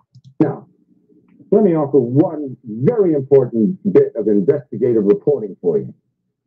It was reported in the newspapers a couple of years ago that this HIV was found in blood that had been preserved in laboratories in the 1940s. They went back and looked at some of these samples. They found HIV. Just like coronavirus. We proved that in another one of our live streams. Coronavirus has been around for a very long time. which by the way has been around certainly for thousands of years. But let's just use that one example. If we had HIV in the population in the 1940s, and we had homosexuals in the 1940s, and by the way, according to Kinsey, 10 to 15% of the heterosexual population preferred anal intercourse. Where in the world was your epidemic? It wasn't suitable for a scoundrel like Robert Gallo in the 1940s. He wasn't old enough, or maybe he was born just about that time, for somebody to come along and to pull off a scam of this magnitude. And now they're caught up in a maelstrom. Now, if the truth gets out, yes, it will deal a blow to the credibility of the NIH and the CDC and the FDA and the AMA and my God, it is sorely needed. Okay. Um, think what he's saying here. If the truth comes out about the coronavirus, it will deal a death blow to all the medical establishments NIH, CDC, ADA, or AMA, excuse me, all the medical establishment type of stuff. If the truth comes out about the coronavirus, it's been here for many, many years. It's very well known, but they have to wait for the right time to say, oh, it's been released. Oh, it's terrible. Oh, it's a pandemic. We need a vaccine so we can make lots of money. That's what's going on. Let's continue. And it's genocide as well. That's what it is. They're trying to kill people. That blow is necessary to clean up the act. Habitual lifetime drug users all eventually come down with a syndrome that could be attributable to AIDS. Absolutely. In fact, these people, that is true. No, on the contrary. Remember, it's dose related. So it depends upon how many drugs you're using and how much of them over how long a period of time. Now, if you overdose, you never get to that point. Yes. the combination of lifestyle practices, of um, microbial, the best place for microbes are dark, wet places, harsh bathhouses, an excellent place to increase the exponential uh, representation of microbes around the world. If you did men who had sex with a thousand other the year, have contact with those same men with themselves are very similar, do you think has an incredible amount of immune suppression that is not suffered by the rest of the Well, I don't know. The, you see, the Romans and the Greeks had bathhouses, and there's no evidence that the party. NDA poppers, and all the things. I agree that NDA and all the rest of these drugs are causing immune suppression. Now, I don't believe that sex itself causes immune suppression, but I do believe that recurring venereal disease will cause immune suppression. But the simple fact is, is that the virus has nothing to do with it. And that's the important thing. That I am certainly for people having a healthy lifestyle. Absolutely. But let's not get into the idea that this is again a contagious disease. You cannot give uh, AIDS to anyone, and you cannot get AIDS from anyone. Yes, Michael Elman. Consider the intense chronic psychological terrorism surrounding HIV and AIDS to be a major cause of the fall of immune deficiency. 22 years ago, I urinated pure blood without pain. I knew immediately what the diagnosis was. It was bladder cancer. I cannot fully describe what I felt at that moment. It is unbelievable. It's like taking a crash dive into the depths of anonymity, total isolation, fear, and panic. And all the faith in God or whatever faith you may have cannot handle that at that moment. When you start to get your wits together, and if you use your intelligence and then your faith, yes, spirit and mind are wonderful things. What you're saying is true. It's a sentence of death for most people. And immediately, their body metabolism goes into negative phases. Everything becomes destructive. Okay, what he's talking about there, if you didn't get a, if you didn't understand what he's saying, um, when you're diagnosed with this disease and you have coronavirus or you have cancer or you have whatever, it basically plunges your body into a very deep state of depression, and you think, "Oh no, I'm going to die," and whatever. And this is lost people talking. Of course, as a Christian, you can say, you know, well, Lord, if you want to get me through this, you know, if not, I'll go home to be with you. But lost people, their their fear, their greatest fear is death, and so, you know, it puts you into a negative state in your mind, which suppresses your immune system again, that's why they're really pushing this whole thing, this agenda of you might get coronavirus. Oh, what are you going to do if you get it? And things, trying to scare people to suppress the immune system. Let's continue. This is modern medical voodoo. If a doctor tells you you are going to die, I'm willing to bet you're going to die. I'll be the first one to put money on the line and say, the chances are you're going to beat the statistics. You will die because you've been told so. This is American. So let me, I'll get back to you, but let me take someone else. Uh, yes, Dr. Willner, uh, I really appreciate what you're doing. Uh, I've been out here trying to uh, inform people about this uh, disinformation for a number of years now. Uh, Robert Gallo was, was a proven medical fraud and a multimillionaire marketing a test.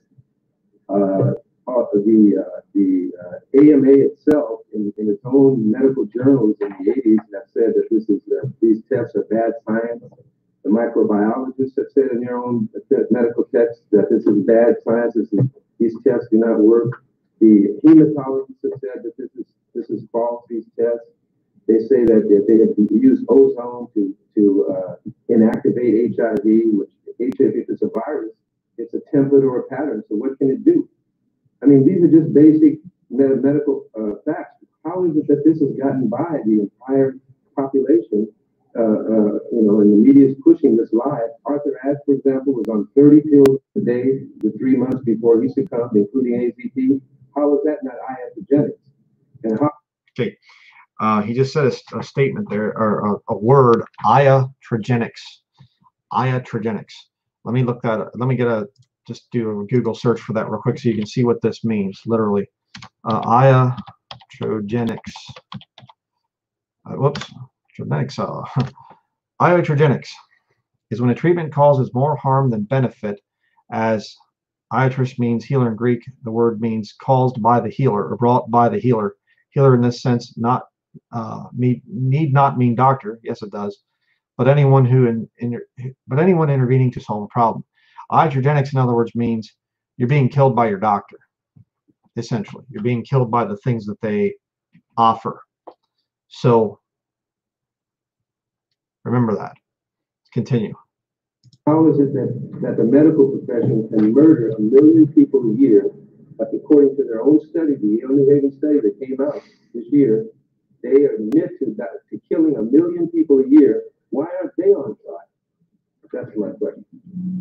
By the way, I thank you for your comments, and I'd love to have a copy of that study and some of the information you talked about. I really would, because I've been going around saying it's the number three cause of death is iatrogenic disease. When I lecture before groups, I don't tell them what iatrogenic disease is. And I say to them, you know, here we're worried about the so-called AIDS epidemic, and I don't believe that anybody should die. I think we should all live forever. But hmm. wages of sin is death. Sorry, doctor. Twelve thousand a year? That's not an epidemic. 60,000 die from automobile accidents.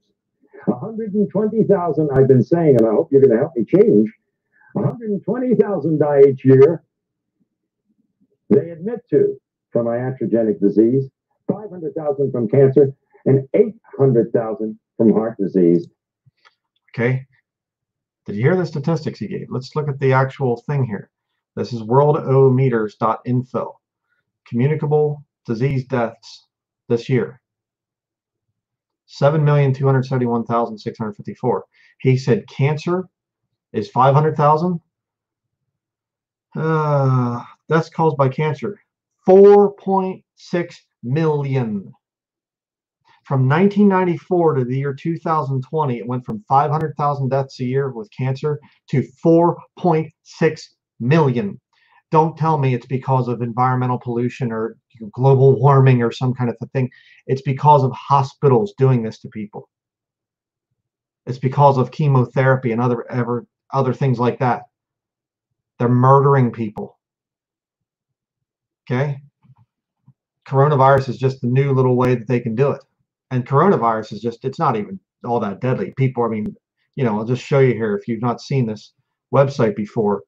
Um, worldometer, worldometers.info. Okay? But right here, coronavirus updates. You can click on that. Coronavirus case, cases, 15,495,000. Recovered, 9 million. Active cases, 99% of the people that are that have coronavirus supposedly are in mild condition. Recovery rate, 94% of people are recovering from it. It's not that bad. Okay? So again, you can go. I mean, this is there you go. The science behind the whole thing. But look, isn't it amazing? I find it just so amazing. And look at this. The deaths today, or excuse me, deaths today, 83,700 and it's going up all the time. Huh. Deaths this year, 32 million. A lot of people die. The wages of sin is death. Right? But see, they'll scare people so that they can get their little uh, their little agenda through. Let's continue.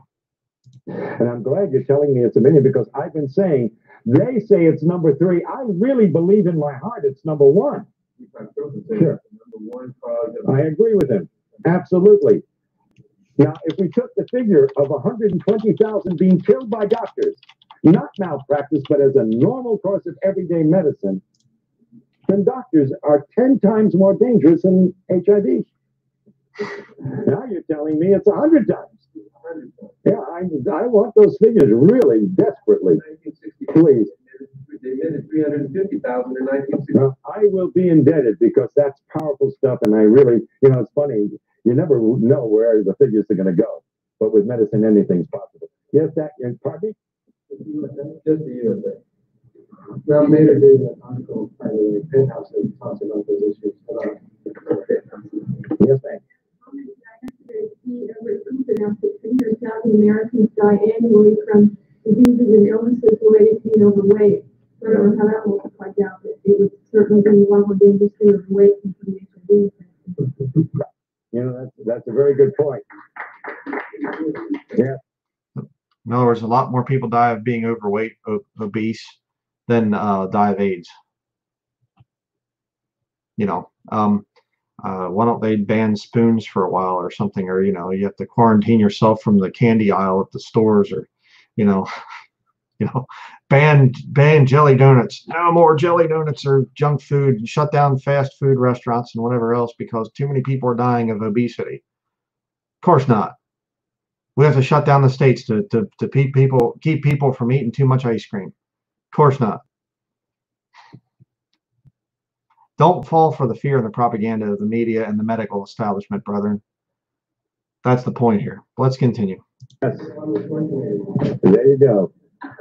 Thank you. That's a very good point. You know, I, I pick up some marvelous ideas from some very bright people, and I, I can't tell you how much I appreciate it. I'm going to be using those. Uh, do I have your permission now? Okay.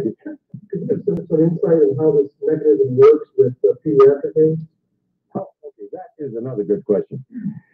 First of all, I challenge anybody except there are always exceptions, and the exceptions are, of course, as we know, genetics, and uh, children um, sometimes born under circumstances where we don't have all the facts. But I would say 99% or better of the individuals born with AIDS, if they actually have AIDS, the mother was a crack mother, was on drugs, no question about it, or had obvious incredible immune suppression for what other medical reasons, as they say. I'm thinking of particular is Elizabeth Wade. And, uh, her, her child got it from her. She blood transfusion for the birth of her child. It was the tainted blood at Cedar Sinai. She then passed it on to her child.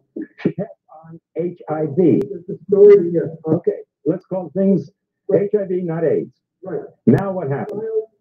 after about, about three years, got very sick. They didn't know what the problem was.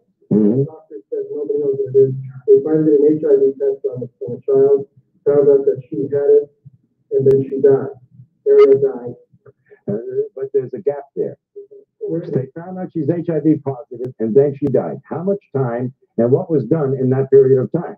I, mean, listen, I was in the practice of general medicine for a lot of years. I had one of the largest practices in the state of Florida. And I can tell you, I treated a lot of kids over a period of time They got very ill in their first three years of life.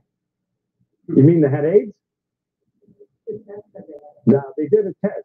I will guarantee you, I don't know what she died of, and I can't answer. But I will tell you, these kids who are diagnosed as HIV, if they're given AZT, they will die of AIDS. Absolutely. Most of them will not die, just like most of the kids I treated did not die. But I had an occasional child that ended up with a meningitis and died. And by the way, our current Miss America, who's deaf and dumb, got DPT. What made her deaf and dumb. Yeah, sudden infant death syndrome. Yes. Now we'll go back to you. Go ahead. Um, real quick, just to say it here again, um, people are born with immune deficiencies because the mother of the when she's with child, she doesn't eat the right food. She doesn't. She's not practicing good nutrition.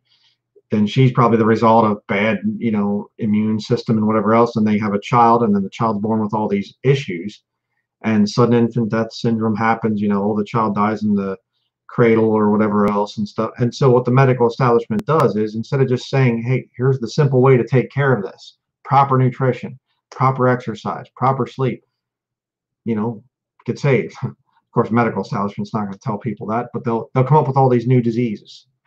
You know, it's AIDS. It's AIDS. Yes, it's it's it's AIDS. You know, what is AIDS? Autoimmune deficiency syndrome. Ooh, you know, um, immune deficiency. You have a bad immune system. How do you fix that? Proper nutrition. Oh, oh, you can you can pass malnutrition to other people. Uh, well, if you take their food away, I guess you can. But see, medical establishment, since in the 20th century especially, and on into the 21st century where we are today, they control through fear. You need to come in for your checkup. Why aren't you coming in for your checkup?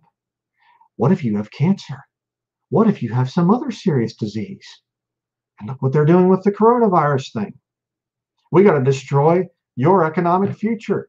We got to make it so that you lose your home, you lose your job, you lose your health, you lose everything because of the possibility of a disease that's not really a disease. Continue. How can, how do you explain then the uh, T cell decline in those who have not taken H, uh, AZT and are not uh, psychologically affected? And I don't believe it to be a, um, Wonderful question. Really great. Now let me tell you a little bit about medicine. See, I was always confused by this T cell thing. Because T cells are nothing more than lymphocytes and leukocytes. They're our body's way of fighting infection. Now, when somebody came into my office with a bellyache, I would do a white count, which includes the T cells. Now, if the white count was like five, six, seven thousand, didn't think anything of it. It a bellyache, some bad food, maybe a viral infection, you know, the great dumping ground viruses. They even had me thinking that way. But if it was 20,000, I alerted a surgeon. You see, The body creates the T cells when it needs it. If you don't need it, you don't got it. Why would you walk around with a lot of T cells when you've got nothing to fight? And I can tell you one thing we have always known there is no correlation between severity of disease in AIDS, so to speak, and the T cell count. Doesn't match up, and I'll tell you why. You look a little bit confused when I said the fact that you will not have a high white count unless you have a severe infection. However, which means that if you don't have a high white count, it's it's not bad. If you if there's nothing else wrong with you, then I'd say, well, that's normal. Well, what do you, why do you want a high white count? In other words, uh, your body is self-healing and self-regulating. The white T cells in your in your blood are there to fight to fight infection and disease. So if there's no infection and disease, your body doesn't produce them on a very high level. That's what he's saying here. God created your body to take care of disease, not a doctor. if you got a bad cold, you get an elevation in your white count. Now, we know for a fact it's well documented that you have individuals who have died with AIDS with elevated uh, T cells. And we have individuals who've been healthy. And when I tell you healthy, I feel sick by comparison at looking at some of these individuals. And they test out incredibly well. The best, healthiest specimens I've seen the kind that most women say, "Oh my God, why is he gay?" You see? Apologize for that. Using the Lord's name in vain. He's a secular man. So, but his information he's bringing out is very important. That's why I'm playing the video. Because he's so good looking and so handsome and so strong and so healthy. You see? They have no what? They have no T cells. T cells, you don't have T cells as a barometer of, of how one is. No, because you yes, you can use it to some degree as a barometer, depending upon the situation. But basically, no, you can't. I'll tell you why. Do you know that you can change the T cell count if you worry somebody? Completely established. I worry about these individuals who go in and get these T cell counts one after another. Because their whole life is focused on these T cell counts. And when it goes down a little bit, instead of being reassured, which is the way I would interpret it, they get panicky. Now they're really doing damage. And at some point, if they're on drugs, and sometimes even if they're not on anything, but because they've been told they're going to die, like the witch doctors of Africa and elsewhere, these individuals will die because they literally worry themselves to death. It's a crime beyond belief. They're the rare ones, I admit. But the fact is, T cell counts absolutely have no correlation with severity of disease. They can be low because you have wiped out your immune system, and they can be low because you don't need them.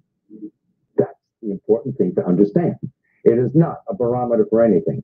And they lie, they lie, they lie, and then they lie some more. This is a real case scenario. I go in, I get tested.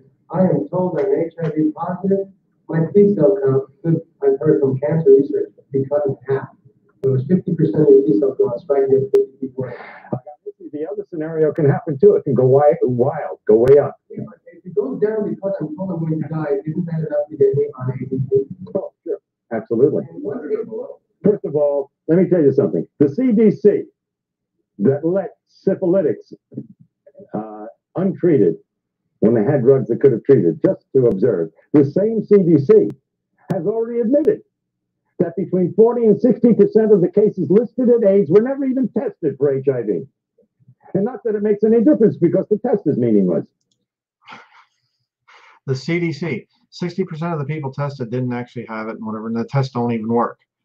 Kind of like the coronavirus thing. Same CDC, you know, the Catholic drug uh, creators or whatever you want to call, you know, run by Jesuit, uh, Robert Redfield, founded by a Jesuit. Yeah. Continue. So could this scenario also happen? I take AZT because it is a foreign invader, my T cells will go up. They initially do. And that's exactly what happens. When you challenge the immune system, which AZT does, you get an initial rise. But then the AZT begins to do it, begins to do its dirty work and suppresses your entire reproduction of your T cells, and eventually it goes through the floor. Absolutely. That is the scenario. Yes, we're going to try to finish one or two more of your questions. HIV is uh, somewhere in, in this, uh, you say that HIV itself is a harmless tissue, it's an innocuous retrovirus. Um, are you then saying that, that, as you said earlier, that you don't know what safe sex is? Uh, if I go back and report to my gay and lesbian readers, young gay men in particular, and there has been a rise in incidence among young gay men of uh, HIV, again, with the test that you don't believe in. Well, it means nothing. Until you give me one single document that proves HIV causes anything, it's meaningless. but what I need to, here's what I need. Yeah.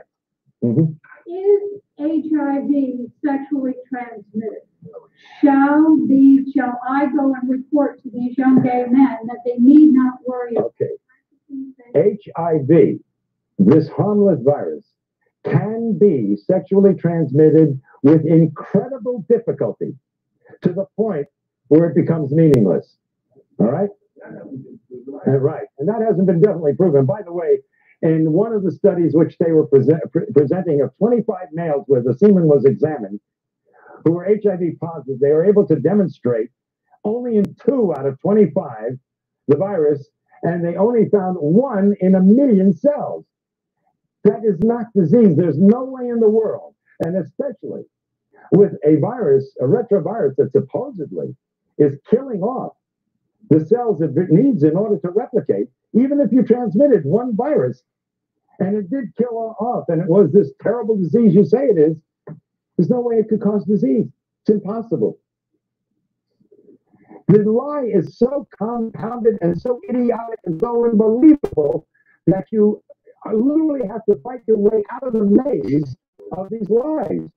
They are all unadulterated lies, and the men responsible for them and women belong in jail. Yeah. Again, amen. Yes, same thing with the whole coronavirus thing. You have to work your way through the maze of all their lies. They're just constantly masks or you don't need masks. The masks can't protect you. Oh, you have to wear a mask. Um, well, you, you don't really have to wear it because of if you're sick, you should wear it. Uh, It's, it's more if somebody else is sick, they, their spit can't get into your mouth. No, But you have to wear it. We think maybe, well, maybe, but I, I maze of lies, deception.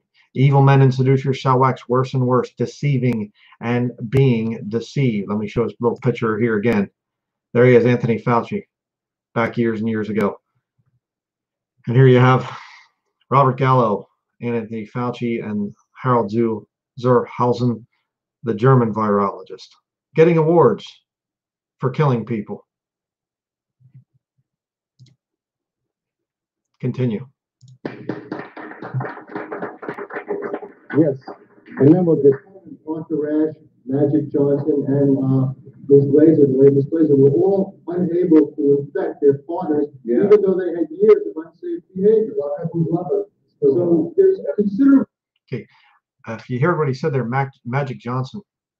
Magic Johnson came out uh, years before this whole thing here, and uh, came out and said that you know he was with all these different women and whatever else, and he was diagnosed as being HIV positive or he had AIDS. Also, I remember that I was back in high school, you know, when that whole thing happened. Uh, I would have been in high school uh, at this time. No, I guess now I would have graduated by then. But in 1994, I graduated. So because this was later, 1994. But uh, I graduated, you know, the summer of 1994. But point is, I remember hearing about Magic Johnson, and you know what? Magic Johnson, the basketball player, is still alive today. So I don't believe it. Well, let me just show you real quick.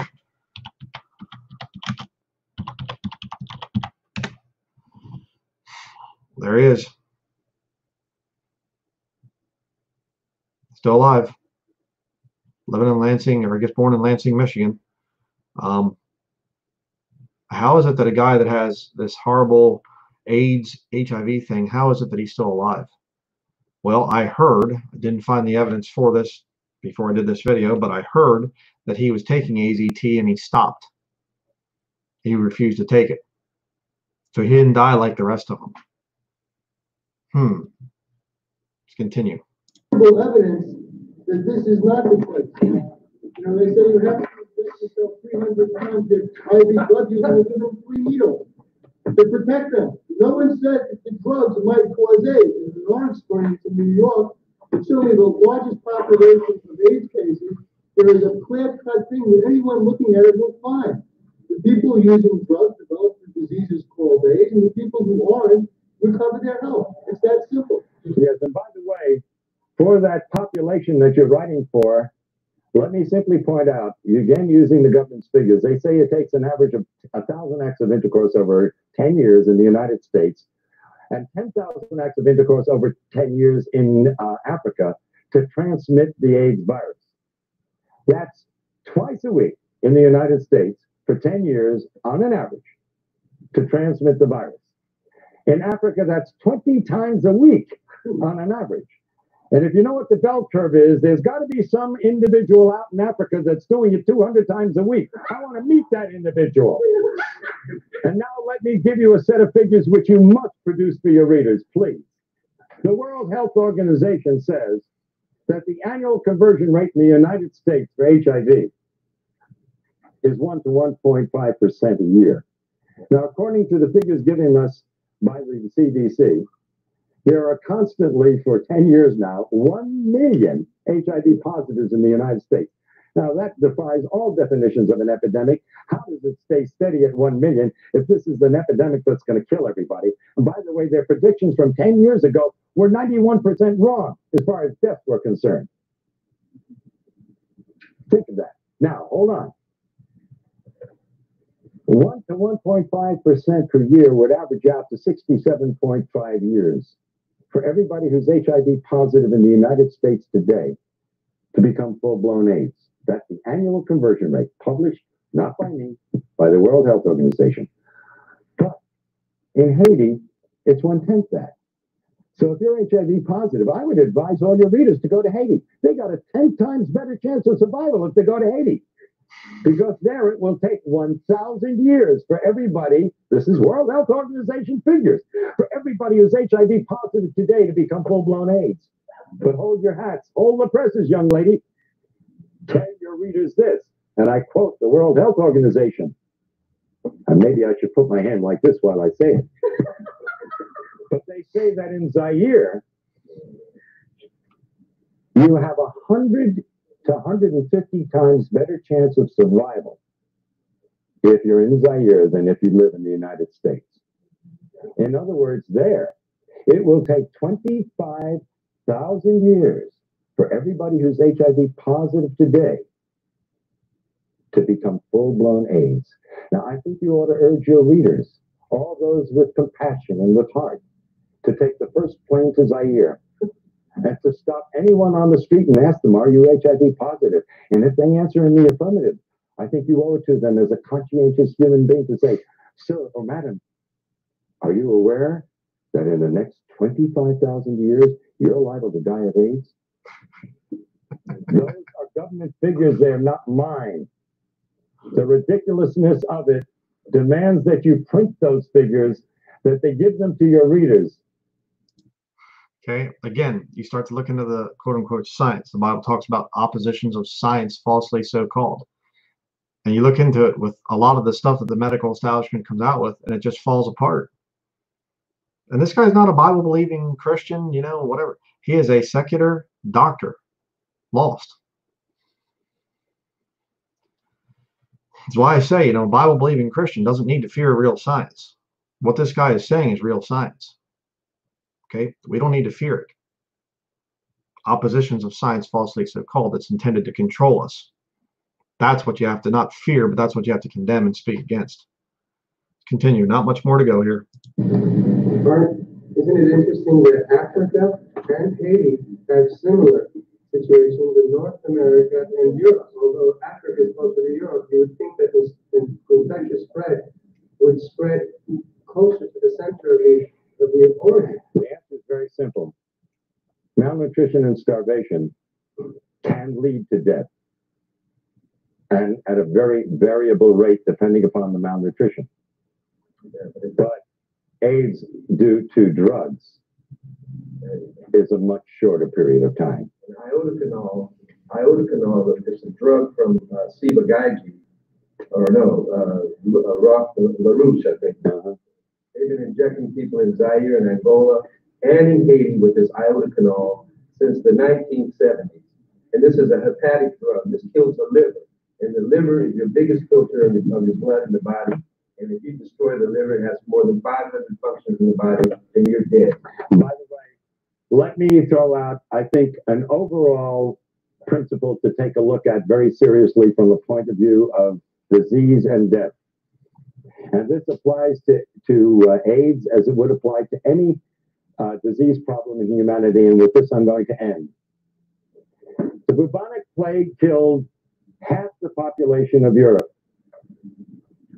The question you must ask and must answer if you're going to be a rational thinking human being is why didn't it kill the other half? In the United States, in 1919, 18 million people died of the flu. My question is why didn't the other 92 million die? The answer to that, and every reporter owes it to their readers, is very simple. The bugs do not cause the disease unless there's a suitable terrain. And so the answer to all disease is not to take a shotgun and blow a human being apart, but to simply prevent the disease to begin with by living at peace and in harmony, not only with your fellow human beings, but with every organism on this planet. And thank you. Well, you need to be in at peace with your creator. So I disagree with him on that, but that's the end of the video. Um, yeah. Uh, so, uh, some really, really good stuff in there. Um, some definite things to think about, to pray about. But again, one more proof that this whole coronavirus thing, it's all part of the corrupt medical establishment. Um, remember, the word hospital comes from the ancient Catholic hospitaller order. Um, the hospitals, the medical system, um, it all goes back to the Catholic Church. Uh, that's what the Bible says. So, uh, just everybody, just take heed to this thing. Okay, uh, you have to get your health. You know that's between you and the Lord. Right? You need to. If you have high blood pressure, figure it out. Okay, I had high blood pressure for a long time. I was on medication for it. My wife came along and just boom, no, you need to stop taking that. I stopped taking it. I'm fine. Found out that the whole high blood pressure thing is a scam, anyways. It's supposed to be for many years. It was the uh, you know the diastolic. I think it is. It's the high number. Diastolic for many years was uh, 100 plus your age. So my normal blood pressure is actually you know 145 over 80, 90, somewhere in there. But if you go to a doctor and you say it's 145, they'll say, oh, high blood pressure, pre-hypertension, you know, or hypertension, I guess maybe. Uh, no, it's not. And the Joint National Committee uh, came out in 2018 and actually changed the standards for what is considered high blood pressure. So now 140 over 80, I think it is, is now considered normal. Um, there's so much wrong with the medical establishment, is what I'm trying to say. If you're on drugs, you know, again, I, they talked about a guy earlier that was on 30 different drugs, including AZT, and he died. I knew a guy the one time, one of the worst I've ever heard of. He was on, he was an older man, going to a Methodist church where my parents, parents were attending. He was on 75 prescription drugs, and he died. That's what they want. Prescription drugs are a kill yourself at home uh, self inquisition kit. Okay. Uh, I don't know how to maybe say it exactly, but you know, um, it's something that you know you can kill yourself with these drugs. And you know, if you look it up in their own sources, they'll tell you. They'll tell you what it, they know. They know. And you know, I saw somebody commented a while back, and they said, well, a lot of these doctors, they're just they're not looking into it. They're not, you know, checking it out and whatever. I don't care. They're still guilty. Okay. They, they could claim, you know, feign ignorance. I didn't know. I didn't know. If you're watching your patients coming in, you're prescribing drugs to that patient, and they're coming back and they're worse, and you're giving them new prescriptions, and for stronger, higher dosages of the drugs, and they're coming back in and they're getting sicker. You are, if you're a doctor, the Hippocratic Oath, do no harm. Okay, you're doing harm. So every doctor out there is going to stand before the Lord Jesus Christ and give an account for the fact that they are murdering people. And you get some guy like Fauci, um, that man is as good as being in hell with the door shut. Okay, and I pray that the Lord stops that wicked man. I pray for the Lord's judgment to hit Fauci and his family. Um, I pray the Lord's wrath falls upon that man. He's very wicked, and all the other Jesuits that are involved, including Donald Trump, who's a Jesuit educated at Fordham and sent his two boys to Jesuit schools. So don't tell me, oh, he just he doesn't know any better and whatever else. It's the Catholic Church, brethren. And how do we really fight against Catholicism? By exposing it for what it is, by witnessing to the Catholics out there who have no hope. Their best hope is purgatory when they die. Think about that. You're going to burn for a while to, to purify yourself because the blood of Jesus Christ is not enough to purify you. Catholicism is the enemy. We can, you know, this this stuff we have to come out. We have to say things against the whole coronavirus, whatever else. We have to stand up for natural health. But I'll tell you right now, it's Catholicism. We have to attack the doctrines of Rome. That's what we're called to do. Don't forget the spiritual war that's going on here. Right? That's very important. Stand up for your rights. I'm not having having anything to do with this forced vaccination or whatever else. Sorry, uh, not going to happen. Um, but we also have to stay on the case of the Roman Catholic Church. Attack their new versions that go against our King James Bible, NIV, NASB, all of them, based on the Nestle's text, which is made in conjunction with the Vatican. Um, go after that. Go after their false salvation. Go after their post-trib system that the church has to be purified. It's not the time of Jacob's trouble. It's the great tri great tribulation. You see, so many different things that are Catholic. You trace it right back to the Catholic Church. All roads lead to Rome. Don't forget that. And it's about getting these people saved, getting these people out of that system. So that's going to, I guess, be it here. I just wanted to put that thing out. And I thought, you know, I was just going to maybe put it out, a link to it. And I thought, no, I really want to kind of back up what Dr. Willner is saying, um, just to kind of say, hey, this guy's right. Check this out. Look at this. Look at that. Um, let's keep fighting. Uh, you know, we're at war, brother. There's no kind of a, well, you know, I'm just gonna, you know, kind of not fight the devil, and he'll just leave me alone. You know, uh, I don't bother him, and he doesn't bother me. well, uh, it doesn't work that way, brethren. Um, the devil's going to bother you. Um, and oh, Lord's got to come back soon. You know, even so, come Lord Jesus. Amen. Amen to that. But brethren, we have no guarantee that it's going to be here in the next month or whatever else or the next year. We don't know. The Bible does not say the rapture is going to be at such and such time or that we're going to get caught up and, and whatever at you know the year 2020 or something. We don't know. We have no idea. So there's a sense in which we are to you know say things that will preserve our lives here in terms of you know so we're not being put in camps and whatever else we have a right to fight for freedom, right? But don't get too sidetracked on that and then forsake the thing of witnessing to people and the thing of going against the real enemy, the Roman Catholic Church. Weigh this stuff out. Okay? So just another very strong, very hardcore piece of evidence. And, and again, I got to say this. I, I can't tell you how many times I've been in churches and, you know, do we have any prayer requests? Somebody raises their hand oh, please pray for me. I went to the doctor and they, they got me on these new pills and I'm really feeling terrible, but you know, hopefully everything will be all right. I probably got to go back to the doctor again for another checkup and I don't know. And you know, a month later, oh, I have cancer now and oh, I'm gonna have to start going through uh, chemotherapy and you know, there's like this whole cult following of of cancer survivors within these church buildings. And these gutless, spineless preachers don't have enough courage to say, stay away from the doctors, get away from the medical profession. I mean, I've been in church buildings that were literally, they have doctors going there and attending. guys that are on the take. You check out uh, ProPublica, I think it was dot .com, and you you you check these this these doctors out, and they're getting kickbacks. They're getting money from the pharmaceutical industry to put people on drugs, and these people are claiming to be Christians. And they're watching their patients get worse and worse and worse when they're prescribing drugs to them. But I go to church and I'm a, I'm a Baptist and you know whatever. You know we have we have a whole practice and we're all Christians here. Cornerstone Family Health Practice, I think it was in uh, Lititz, Pennsylvania. They claim to be Christians there. Went in for a checkup on something and whatever else against my will. I was, you know, I went in there. I shouldn't have gone, but a stupid thing I did. And the guy's trying to put me on drugs. Professing Christian. You know, you go in there and they got the little area for children to play, and it's Veggie Tales and all this other stuff, which is terrible. you know,